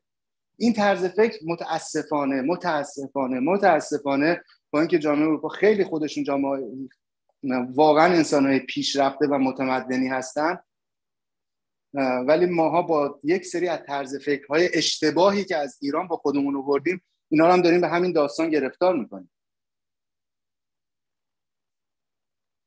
پس یکی از هدفمون این باشه با توجه به علم و آگاهی که داریم بیاین دوروری های خودمون هم روشن کنیم. و در انتها می‌رسم به اون بحث درست انتخاب کردن. روی صحبتم به عزیزانی هستش که حالا تو ایران هستن. می‌تونیم با انتخاب درست یه زندگی درستی رو شکل بدیم و می‌تونیم اون زندگی رو به سرانجام برسونیم. و خب صد درصد کورکورانه هم میشه این کار رو انجام بدش مرسی متشکرم. ممنون جناب آقای نوروزی. آیدی زوم اگر که امکانش هست خودتون معرفی بفرمایید مایک در اختیار شما. منم درود میفرستم خدمت شما عزیزان. صدای منو دارید بله. صدای منو داشته باشید. متاسفانه اینترنت اینجا خیلی جالب نیست. ولی خب خواستم خودم معرفی کنم به عنوان همکار. اگر افتخار داشته باشم همکار جدید باشم که در خدمت شما دوستان باشم. تو این جلسه حضور پیدا کردم که آشنا بشم با نحوه جلسات. من رجب زاده هستم ابوالفضل. در خدمت شما عزیزان هستم. اگه وارد بحث نشدم بابت این بود که نخواستم از غذا نخواستم که موقع جسارتی کرده باشم وارد بحث آزادتون بشم به اینکه فقط دوست داشتم شنونده باشم و امیدوارم که از این جلسه استفاده و به رو برده باشه در جلسات بعدی حتما در خدمتتون هستم. توی مشاوره و هم صحبتی با شما عزیزان خوشتم میشن و امیدوارم که مستمره ثمره خوبی داشته باشیم در رابطه با جامعه ایران و تغییرات در داخل جامعه ایران. سپاسگزارم. سپاس از شما. خیلی خوش آمدید و امیدوارم که شما در این مسیر موفق باشید براتون آرزو موفقیت دارم و سپاسگزارم که مشارکت داشتین با ما. ولی اگر الان نقطه نظری هم دارین خیلی خوشحال میشیم که شما رو حالا اگر خواستید تا پایان بحث شما رو بشنویم. خب بحث بعدی رو با خانم دژم داریم مجددا. ضمن عرض خسته نباشید خدمت همه همکاران عزیز. خانم دژم در خدمتتون هستم ممنون که دوباره مایک به من می‌دید. من اگر اجازه دارم خانم ریجندی به خاطر اینکه خب خیلی جلسه به درازا نره دو تا بحث آخر رو ادغام کنیم و در مورد دو تاش حرف بزنیم که در مورد پوشش و اشتغاله و در بهرهوری باروری و ازدواج. بله من گفتم که اگه اجازه بدید چیز کنیم. دو تا موضوع باقی مونده در واقع همزمان بهش بپردازیم. موافقی؟ دوستان؟ مرسی. خیلی هم عالی. موضوعی که قرار صحبت کنیم در پوشش و اشتغاله و در بهرهوری باروری و ازدواج. در مورد پوشش که یه چیز جالب به ذهنم رسید این که خانم ها در ایران به صورت ساده اگه بخوام بگم از ویتامین دی کمتر نسبت به آقایون برخوردارن به خاطر صرف حجاب اسلامی که توی ایران شاهدش هستیم. یکی از بزرگترین تبدیلایی که در اتفاق افتاده همینه. با توجه به این موضوع تازه خانم‌ها به نظر من به ویتامین دی بیشتری نسبت به آقایون می‌رسن ولی اتفاق داره تو ایران میفته و صرف حجاب اجباری و ما انتخاب در حجاب رو خب متاسفانه نداریم توی ایران و این یه تبعیده و این در اتفاق از کی میفته؟ از زمانی که یک فرد یا یه دختر وارد مدرسه. قبل از اینکه حالا یه موضوعی هم خانم رضاوان بهش اشاره کردن اینکه باید به قوانین اون کشور احترام بذاریم اوکی الان ما میگیم که قوانین جمهوری اسلامی حجاب رو داره توی خودش و خانم حالا طبق رعایت قوانین مردم هجاب داشته باشن اوکی اما یک و سن هجاب هم مشخصه دیگه. سن هجاب برای دخترها 9 سال هستش. حالا به بقیه مسائل کار ولی تا قبل 9 سال یعنی دختری که 7 سالشه و وارد مدرسه میشه چرا باید هجاب داشته باشه و این هجاب اجباریه؟ و در خیلی از مدارس من می‌دونم که مثلا یه سری چیزای اضافه تر دارم. مثلا من خودم مدرسه درس میخوندم که علاوه بر مغنه و مانتو باید چادر سرمون می‌کردیم. من خیلی عجیب بود. یعنی یه قانون بود که خود مدرسه گذاشته بود. نه از طرف آموزش پرورش بود نه هیچ جای دیگه. و یه دختر فکر یک بچه کوچی کیف کتاب هزار تا مسئله. حالا تو هاگی واگی و به فکر هجاب و معنه و ایناش هم باشه. حالا من به شخصی که چادرم سرم می‌کردم بدون اینکه انتخاب کنم که اصلا می‌خوام آیا دوست دارم آیا علاقه دارم راضی هم اصلا این کار انجام بدم یا این مدل حجاب داشته باشم یا و این اتفاقیه که به نظر من در جامعه ایران داره اتفاق میفته و نمی‌دونم از البته خب تا چیزی که تا الان راجع صحبت کرد هم بخش فرهنگی داره این قضیه هم بخش در واقع قوانین هست.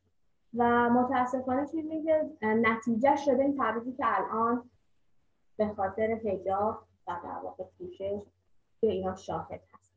جدیدا که شنیدم اتفاق بدتر داره میفته که مثلا برای آقایون هم هست موارد. مثلا اینکه اگه لباس آسین کوتاه نمی‌تونن بپوشن نمی‌دونم و هزار یک داستان ریز دیگه ای که این وسط وجود داره. دوستان در مورد پوشش و اشتغال دوستان که صحبت کنیم میشنم ازتون. آها خب همین بحث پوشش در جامعه هرچی پیش میریم و بزرگتر میشیم ها خب مسئله کاری و سر کارشون هم پیش میاد دیگه. یعنی که سر کار هم یه سری قوانین با شامل حال خانوما میشه که مانتو و محمه و فلان و در خیلی از مشاغل که با چادر مطمئنم اداره ها توی ایران چادر اجباریه و این اون اتفاق بعدیه که متاسفانه در ایران میفته و اینجا واقعا می‌تونیم بگیم که در حق خانم ها داره اجحاف میشه توی ایران. در بهرهوری باروری و ازدواج. خانم دژم عزیز در مورد هجاب قانون هجاب یه موضوع اتفاقا فکر می‌کنم همین دو سه هفته پیش توسط دو نفر یکی یک کارشناس بود و یکی هم خانم فائزه هاشمی بود که بحث همین هجاب شده بود و صحبتشون. خیلی از حضار عزیز معذرت خواهی می‌کنم اما چون دیگه این یک قضیه هستش که رسانه ای بوده و اطلاع رسانی شده به این به این وضع و به این سبک خیلی زشت و زننده هست و من در واقع نقل قولشون می‌کنم فقط. و قبلش باز هم عذرخواهی می‌کنم. اومدن به این صورت مطرح کردن که چرا زنان رو هجاب براشون تعیین کردن و همون حال هجاب اجباری که در جمهوری اسلامی است. گفتن که طبق گفته پیامبر اسلام تمام زن به جز صورتش عورت هستش و آقایون فقط یک جا عورت هستش. به خاطر همین هست که زنان باید پوشش کامل داشته باشن و می‌تونن صورتشون فقط بیرون باشه. اما برای آقایون نه. عرض کردم این موضوع بسیار زننده است بسیار توهین کننده است به خانوم ها اما این صحبتی که یک کارشناس در یک تلویزیون ملی میاد راجع به صحبت می‌کنه جای بحث داره واقعا. که چطور می‌تونن انقدر راحت و توهینآمیز در مورد خانما صحبت کنن و این مسئله رو ربط بدن به این قضیه. آقای تایف در خدمتتون هستیم بفرمایید. بله درود به دوستان عزیز و خسته نباشید. در رابطه با موضوع هجاب خانم دژان فرمودن که حالا جدیدم ولی خب من خودم تجربه موقعی که ایران بود داشتم. اینا جدید نیست. از موقعی که جمهوری اسلامی اومد سر کار این موضوعات بوده. حالا بعضی تو بعضی دولت ها کمی پررنگ بوده تو بعضی دولت ها خیلی کم رنگ بوده. مثلا جریانی که واسه خود من پیش اومد تقریبا 20 سال پیش به خاطر اینکه مثلا بلوز پیرن آستین کوتاه پوشیده بودم من مثلا 24 ساعت اونجا بازداشت شدم. موقعی که مثلا سرباز بودم اومدم شهر مرخصی به خاطر اینکه مثلا موام کوتاه بود دژبان شهر مثلا گیر داد که شما سربازی بله کارت مثلا مرخصی مشکلی نیست ولی خب چرا آستین کوتاه پوشید؟ بدون هیچ دلیلی 24 ساعت باید تو بازداشت می و به خاطر همین 24 ساعت مرخصی دیر شد از اون یه ماه هزار خدمت بود. یا مثلا تقریبا ده سال پیش من رفته بودم مثلا دوبه واسه خودم یه شلوار سبز رنگ گرفتم. اومدم تو محل کارم پوشیده بودم دیدم که مثلا چند نفر از این اونایی که مسنن یکی مسنن مثلا یه بد نگاه می‌کنن و دقیقا به روی خودم گفتن که مثلا این شلوار در شن یک مثلا آدمی که تو این کار هست نیست. اینا سرچشمه می‌گیره از خب کجا از جمهوری اسلامی؟ و مشکلی که خب ما از اول داشتیم الان هم داریم و بعد هم خواهیم داشت. و جدیدن هم که دیدیم برای خانوما جریمه گذاشتن که مثلا حجابتون اینطوری آرایشتون اینطوریه بعد نمی‌دونم لباستون اینطوریه. خب مشکل کجاست؟ مشکل حکومت بعد هر چقدر ما مردم الان می‌بینید چقدر مردم دارن با حجاب اجباری مبارزه می‌کنن. ولی خب فشار زیاد روشون و داره به نوعی مردم رو به جون هم میندازه. و ما بخوایم از این راه از این مسئله گذر کنیم همیشه باید خب اطلاعاتمون بیشتر بشه. خب در راهی که هستیم ثابت قدم بمونیم تا بتونیم از اینجا گذر کنیم. سی سال پیش سی, سی سال پیش دایی من از آلمان اومد ایران. دو تا دختر دو ساله داشت سه ساله داشت. بس فقط سوالشون این بود که چرا اینجا خانوما روسری دارن آقایون ندارن. بعد این دایه من مونده بود به اینا چی بگه. می‌گفت من نمی‌تونم به اینا جواب بدم. می‌گفت خب اینا خوششون میاد اینطوری رو سرشون اینو بندازن. می‌گفت خب چرا آقایون خوششون نمیاد؟ یعنی تو این همه آقایی که تو ایران هست یکی خوشش نمیاد که موهاشو بپوشونه. و این مشکلات همیشه هست. مرسی.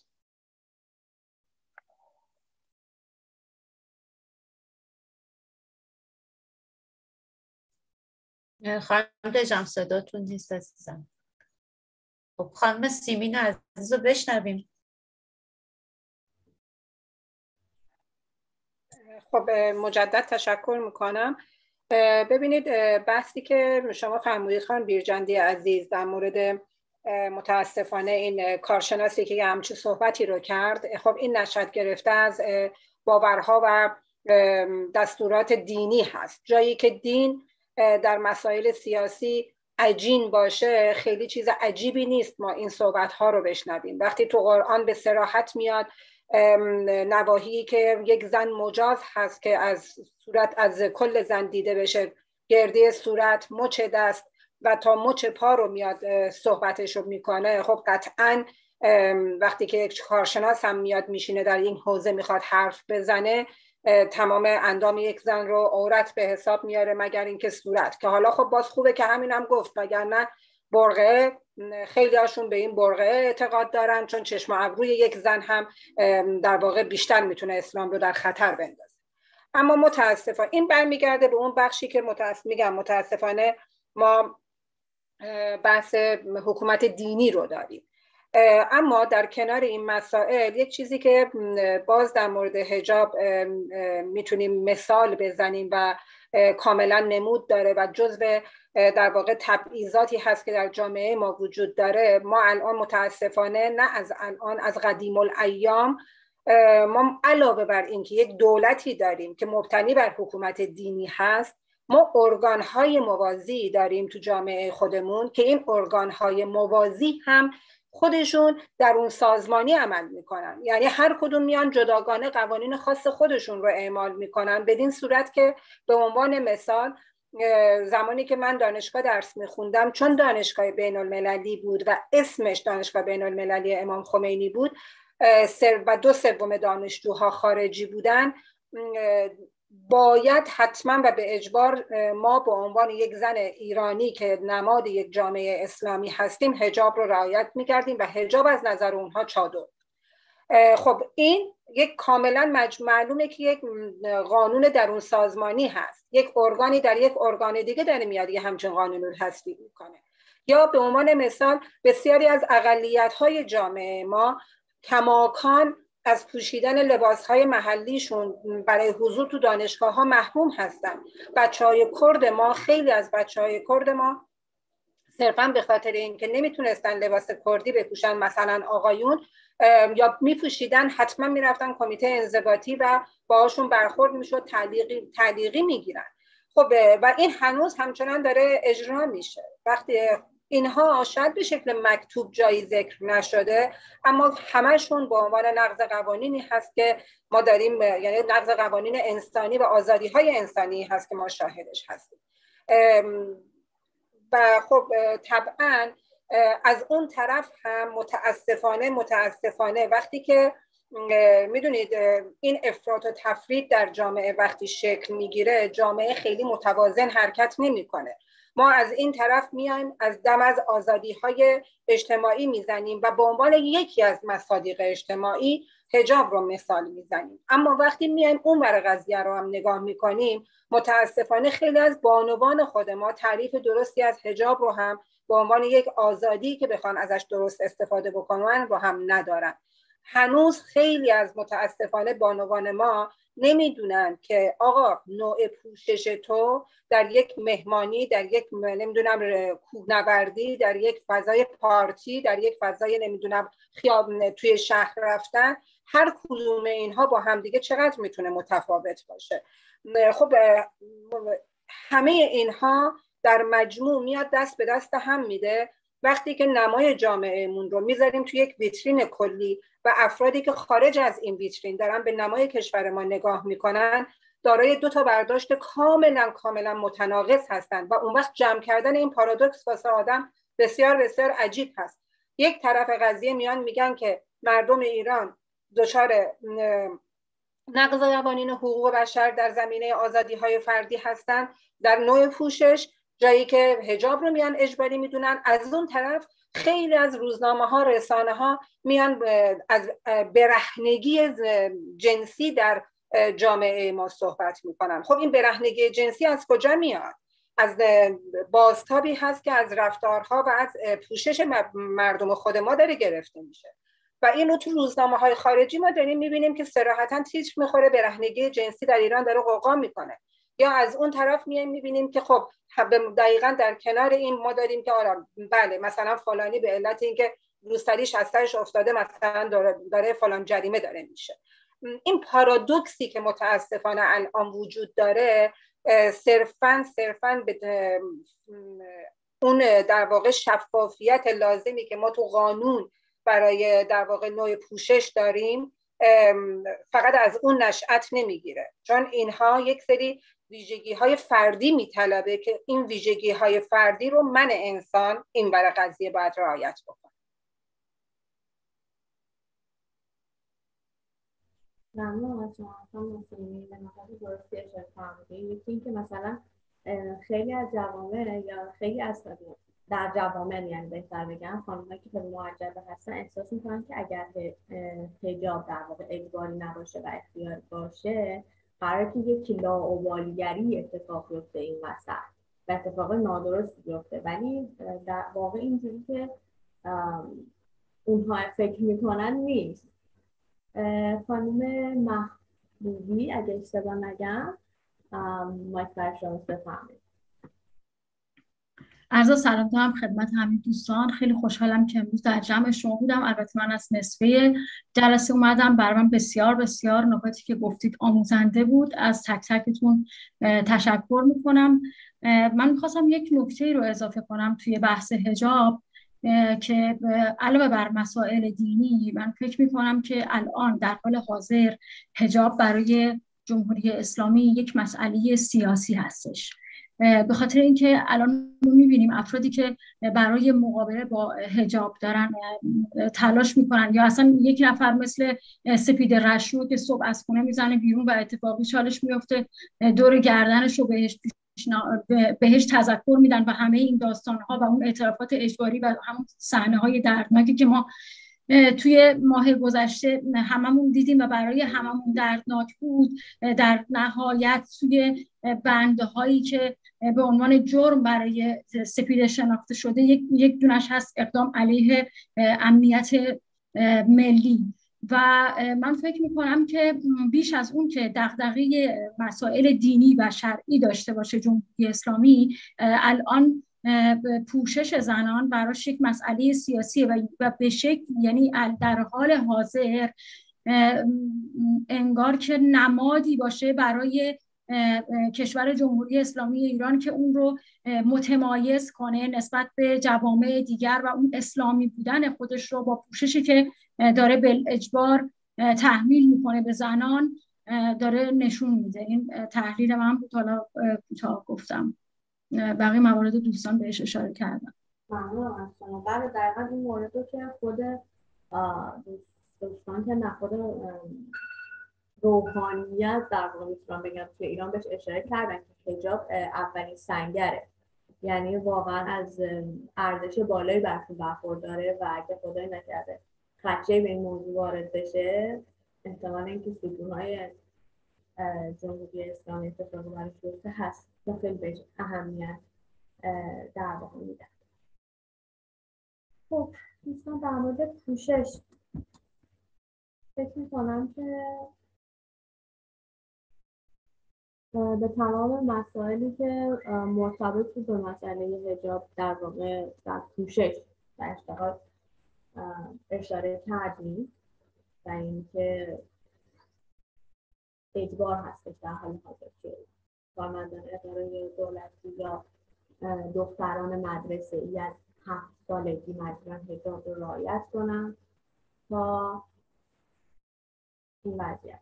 و اتفاقی که برای کسایی که میافته که حالا با اون قضیه راحت نیستن یعنی من سراغ دارم کسانی که خانم ها بانوانی که شغل های اداری دولتی دارن در ایران و مجبورن که در محل کارشون حجابشون حالا به همون چادر که جز قوانین هست داشته باشن. اما خارج از محل کار یعنی اصل شب یا هر وقت دیگه سر کار نیستن می‌خوان از هجاب استفاده نکنن از این چادر اجازه ندارن. خیلی چیز عجیبیه و می‌دونم که برای مثلا سری از اداره ها برای استخدام رسمی شدن در اون اداره شما باید کلا lifestyle چادر باشه. یعنی نمی‌تونی فقط چادر رو به خاطر محل کار استفاده کنی. اگر این باشه اصلا شما صلاحیت استخدام توی اون اداره هم نداری.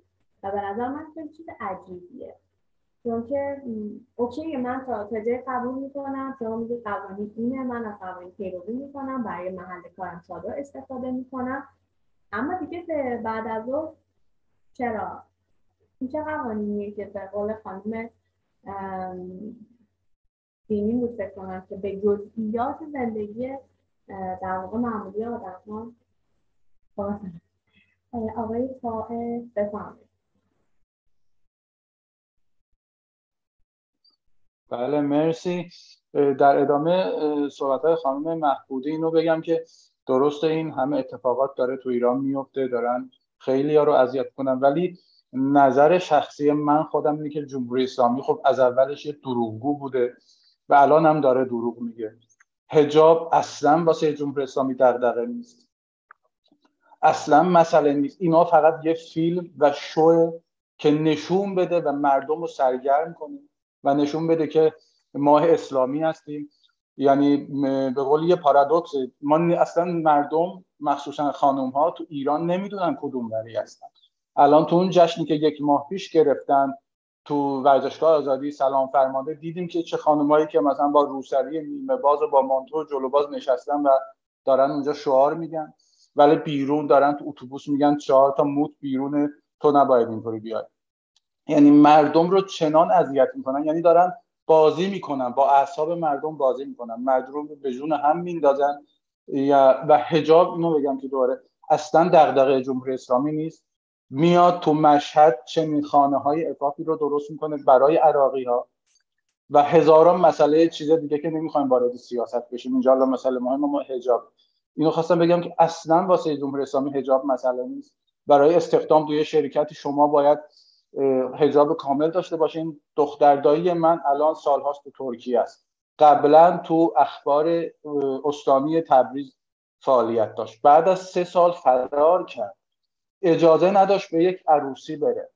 یعنی ده صبح که باید خبر می‌داد بعد از توی عروسی بود اجازه نداشت بره. باید اجازه می‌گیره با یک دونه اشتباه که یه عروسی رفت یه تولد خواهرزاده رفت کلا گذاشتنش کنار و واسش جرایم اومد و اذیتش کردن که فرار کرد. اینو خواستم این نکته رو اضافه کنم. مرسی. ممنون شما متاسفانه از این مثال ها بیشماره. اتفاقا این چنینی رو میده که خیلی غمانگیز هستن و حق در واقع انتخاب رو از خانم ها گرفتن. خانم رهایی بفرمایید سلام خسته نباشید خدمت شما خانم دژم عزیز و بقیه همکاران گرامی.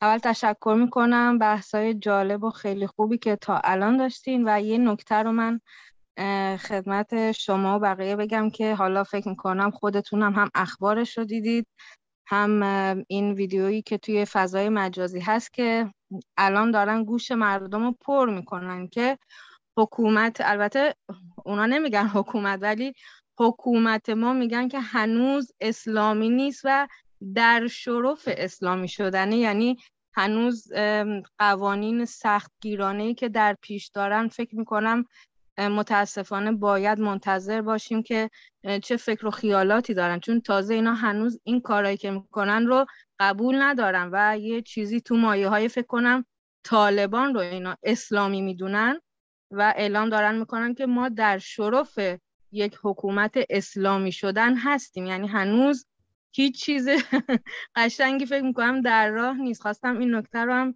اضافه کنم که متاسفانه فکر کنم فجایع وحشتناکی در پیش رو داریم. ممنون که وقتو به من دادیم بله متاسفانه همطور که اشاره کردید.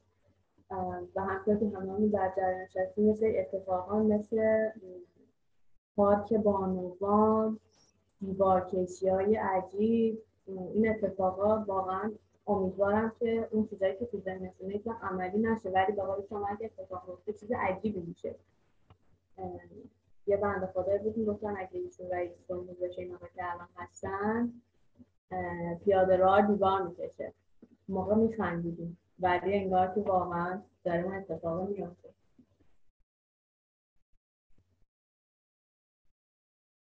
خب من یه اتفاق با افتاده صدا هست توی جلسه؟ خانم سیمین بفرمایید.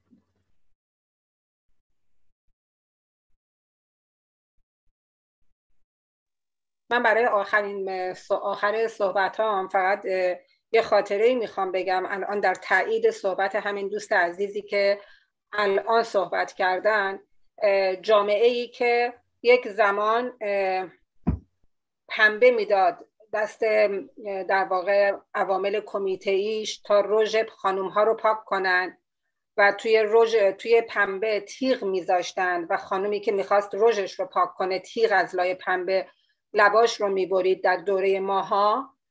وقتی که ماها جامعه ای که اون افراد رو دید امروزه به تفریطی رسیده که دیگه نمی‌تونه خوب جمع کنه و از اون جایی که بله نماد این کشور این هست که وقتی که هجاب رو به عنوان سمبل یک کشور اسلامی در نظر داره و ممیزه یک زن مسلمان رو با یک زن غیر مسلمان حفظ هجاب می‌دونه قاعدتا امروز باید به یک جایی برسه که در مقابل اون افراد کاری ها بخواد بیاد این تفرید ها رو جمع کنه باید مجبوره که مجدد به قوانین سختگیرانه روی بیاره که این قوانین سختگیرانه قطعا هیچگاه هیچگاه به نفع افراد جامعه نخواهد بود و فقط شاید تضمینی برای بقای دو روز بیشتر خود دولت ها برسد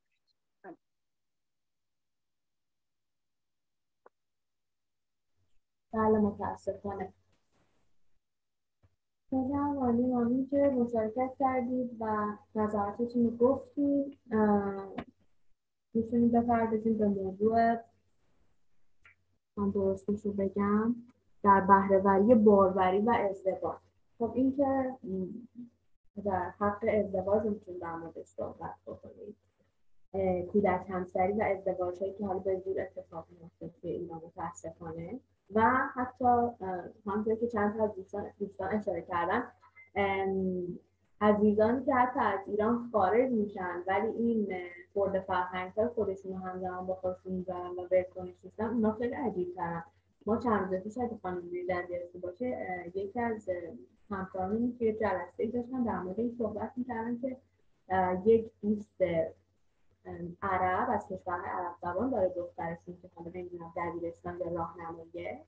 و پدر این دختر که این سن مجبور کرده که این دختر ازدواج بکنه الان. یعنی ازدواج اجباری در سن پایین در کشور آلمان.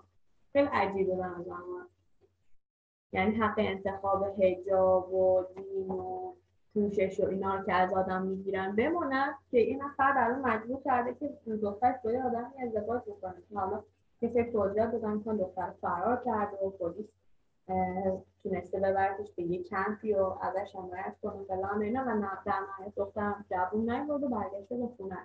و تا جایی که خبر داشتن یعنی می‌دونستن از دخترش خبری نبود و نمی‌دونستن چه اتفاقی باید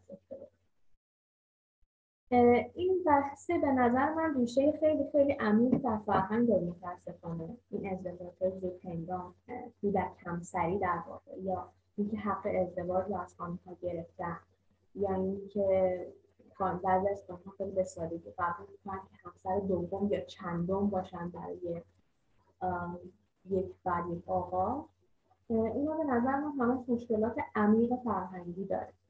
اینی که در قدیم چه اتفاقاتی میافتاده و اون اتفاقاتی که اصلاح نشدن و هنوز که هنوزه با توجه به اینکه زمانه عوض شده پیشرفت کرده آدم های آگاهی های بیشتری به دست آوردن اما متاسفانه هنوز شاهد این هستیم که اتفاقات بدی در این زمینه داره میفته یه مسئله دیگه هم که جا داره راجبش صحبت کنیم اینه که استفاده جنسی و ابزاری که جدیدن ها خیلی خیلی زیاد تو ایران داره اتفاق میفته. که خانم ها نمی‌دونم دقیقا واژه درست استفاده می‌کنن یا نه رحم اجاره ای داریم توی ایران. یعنی خانم هایی که حامله نمیشن پول میدن به کسی و از اون خانم می‌خوان که برشون بچه بیاره. حالا نمی‌دونم به چه صورته بعض وقتا مثلا از اسپرم همسرشون استفاده می‌کنن بعضی وقتا نه. این چیزا خیلی عجیبی من شنیدم که اتفاقا یه فیلم من اخیرا دیدم. دقیقا راجع به همین موضوع داشت صحبت می‌کرد و اون این بود که یک یه دختر متاسفانه از کودکان کار از این که بی سرپرست هستن از سن دوازده سالگی این بچه این دختر خانوم شغلش این بود که بچه بعد کامله بشه در واقع بچه دار بشه و بچهش رو بفروشه. یعنی یکی از شغلاش این بود. حالا غیر از این که مثلا چه می‌دونم سر چهار گدایی هم می‌کرد و پیش ماشین هم تمیز میده یکی از شغلاش که بچه داشته و بچهش رو بفروشه. و این قشنگ یه سازمان داشتن. یک نفر یه نفر آقا مسئولش هم خانوم بود. این خانوم ها حامله می‌کرد و وظیفهش این بود که بچه های به دنیا میارن رو بفروشه. و یه آقای بهش مراجعه کرد مثلا یه, یه چیز حاج آقا طوری بهش مراجعه کرد و گفتش که خب من خانمم حامله نمیشه من می‌خوام که مثلا از یکی از این که شما تو دستاتون هست من استفاده کنم و بچه دار و پول رو پیش پیش داد بهشون. پول اون بچه که قرار به دنیا بیاد. و این خانم حامله نمی‌شد. این خانم حامله نمی‌شد. رفتم به دکتر مراجعه کردن عکس گرفتن و این چیزها. فهمیدم که خیلی سال قبل همون سالهایی که مثلا خیلی سنش کم بوده 13 14 سال شده و حامله بوده یه تصادف می‌کنه و میره دکتر. دکتری که داشته عملش می‌کرده متوجه این موضوع بوده که ایشون یک دختر بی کودک کار هست. تصمیم می‌گیره خودش خود تصمیم می‌گیره که لوله های این خانوم ببنده که دیگه از این اتفاق توی آینده برای جلوگیری بشه. یعنی دیگه برده جنسی در واقع نباشه که بخواد بچه هاشو بفروشه. و حالا این مثلا یک سری مدعی پیدا شده بودن که نه تو حق انتخاب رو از این دختر گرفتی با این کار. اما خانم هم مثل گفتیم دختر اصلا حق انتخاب نداره این از وقتی نمیفهمیده داره حامله میشه و بچه به دنیا میاره. به نظر من خیلی عجیب بود. من خودم تا آخر من سوال بود که چه چیه واقعا داستان؟ آیا آیا این حق انتخاب این دختر واقعا از بین رفت؟ با اون کاری که اون دکتر تصمیم گرفت برش انجام بده. یا کار درستی انجام داد. خیلی عجیب بود. خیلی به نظر خیلی مویی قضیه. ولی اتفاقی که متاسفانه طرف بچه ایران داره میفته. که از خانم ها داره بهرهوری جنسی میشه. یه اتفاق دیگه ای که خانم ریجندی بهش اشاره کردن قبلتر این بود که قانون قربالگری تو ایران هست شد. قانون قربالگری اجازه به شما میده که وقتی حامله هستید یه آزمایش بهتون انجام میدن در صورتی که فرزندی که توی رحم شما هست. دچار مشکل باشه مثلا معلولیتی داشته باشه به لحاظ جسمی یا مغزی اگر قربالگری تشخیص بده در واقع خود اداره که الان اسمشون نمی‌دونم اجازه صفر جنین به شما میده. پزشکی قانونی. پزشکی قانونی یه تست قربالگری انجام میده. اگر کودکی در رحم هر گونه مشکل داشته باشه اجازه صفر جنین داده میشه. خب می‌دونید که صفر جنین تو ایران کار غیر قانونی الان این داستان کلا کنسل شده. یعنی مادری که حامله است اگر مثلا فرزندی که رحمش مشکلات جسمی داشته باشه یعنی فرزندی که به دنیا میاره معلوم باشه اجازه نداره که تو کودکش رو صرف کنه.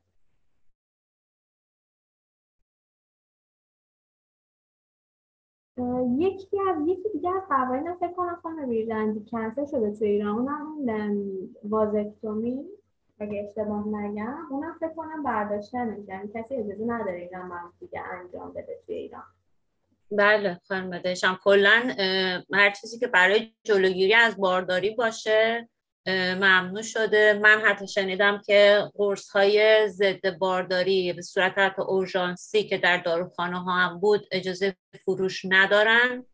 و یه مسئله دیگه توی این موضوع قربالگری که فرمودین اصلا کلا قربالگری رو برداشتن. حالا من نمی‌دونم یعنی یه کاری شده مثل سخت جنینی که قبلا به صورت قاچاقی مثلا توی مطب ها یا چیز توسط دکتر انجام می‌شد. این قربالگری هم مثل که به همین صورت شده البته این چیزی که شنیدم من حالا نمی‌دونم در واقعیت چقدر هستش.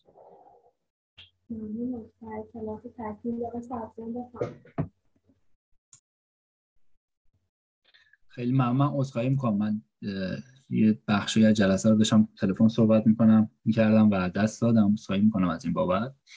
اما در مورد قربالگری فقط خواستم این نکته رو بگم که اون سازمانی که هست فکر کنم مال قوه قضاییه نیست. برای سازمانی مال کنم مال مذهبی و اینا. یعنی اصلا هیچ اطلاعات کارشناسی ندارن. یعنی نه پزشک یعنی هیچ پزشک اونجا نیست. فقط کارشناس مذهبی ان من اسمش هم فراموش کردم. اگه دوستان بهم کمک کنن ممنون میشم.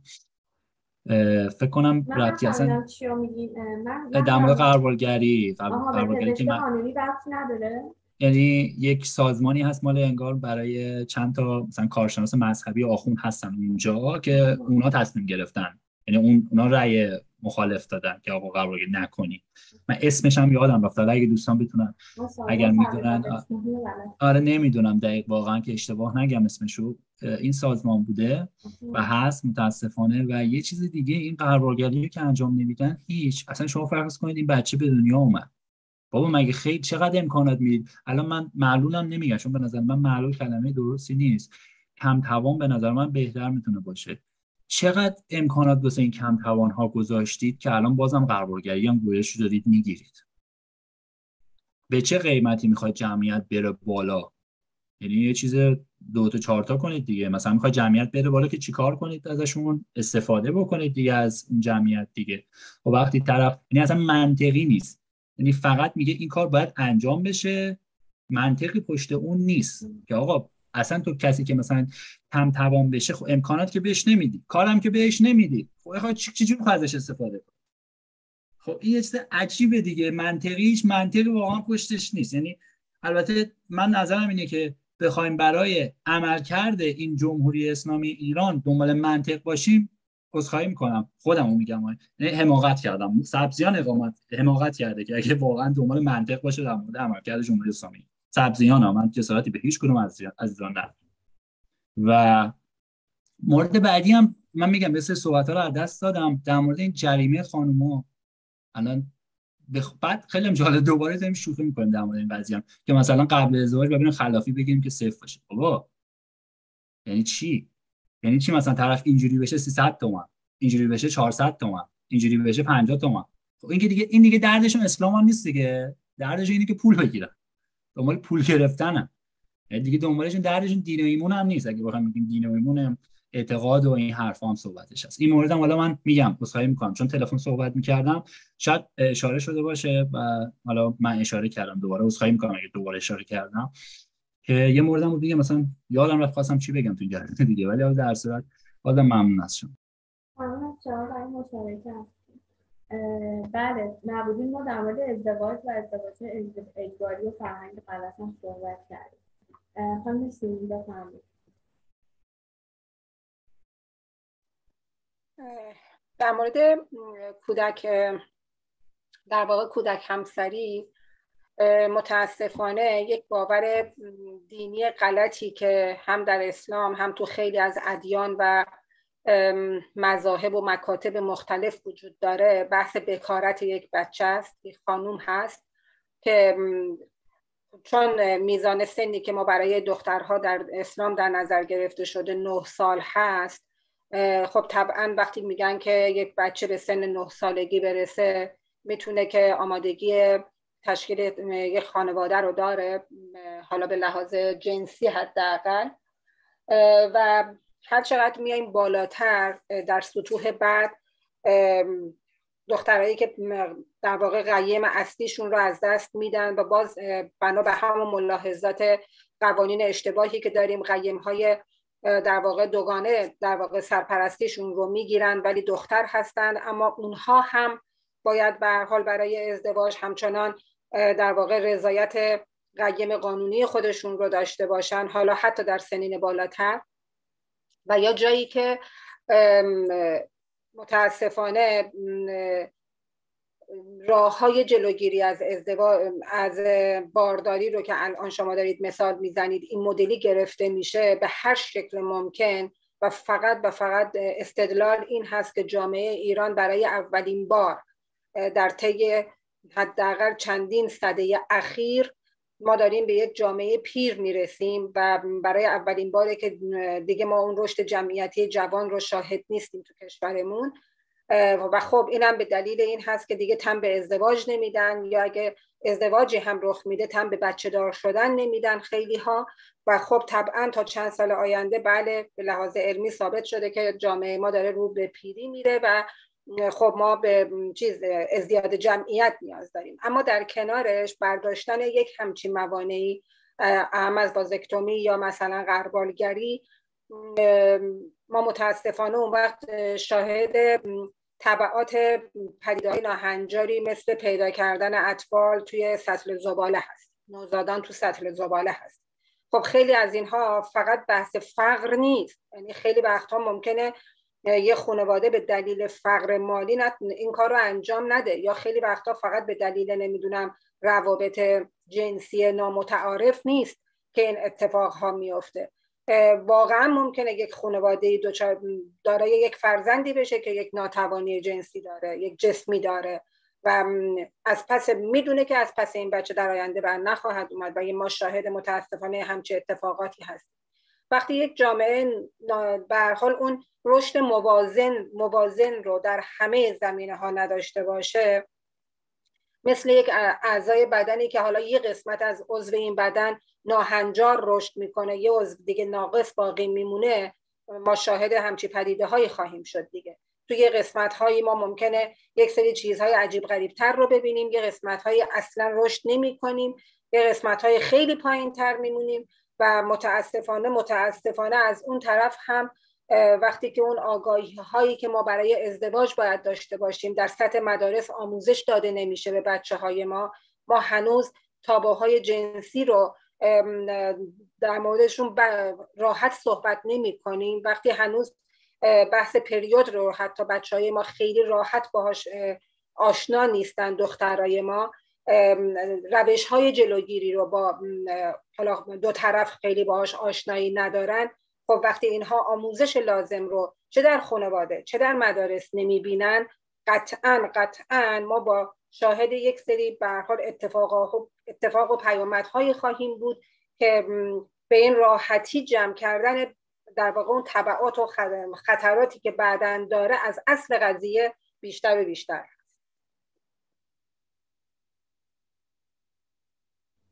بله ممنونم. از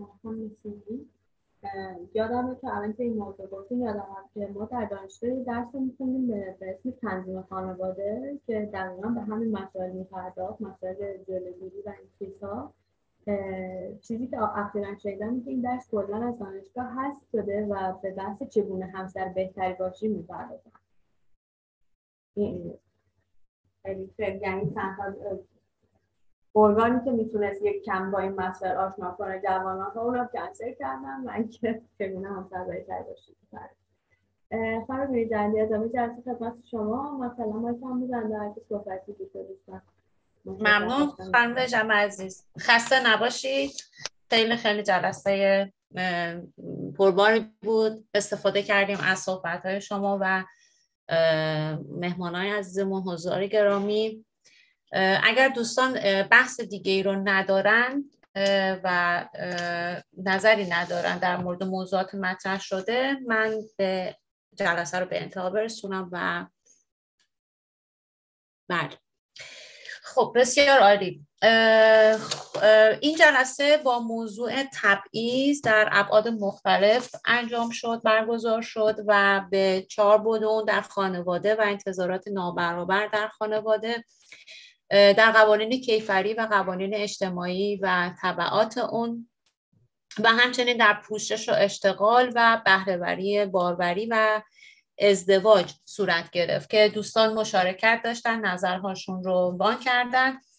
و در این جلسه عزیزانی که همکاری داشتن منشی جلسه آقای مصطفی منیری مسئول صدا و تدوین جناب سبزیان و جناب پرویزی و ادمین های محترم هم آقای حسن حمزه و سرکار خانم ایران دخت کیا بودن. جلسه هماندیشی کمیته پژوهش رو در تاریخ 27 آگوست برابر با 5 شهریور در ساعت 17 و 56 دقیقه به وقت اروپای مرکزی به پایان میرسونیم. سپاسگزارم از همه شما عزیزان که در این جلسه شرکت داشتین و همچنین عزیزانی که ما رو از live یوتیوب و اپلیکیشن کانون دیدن کردن. شما رو به خود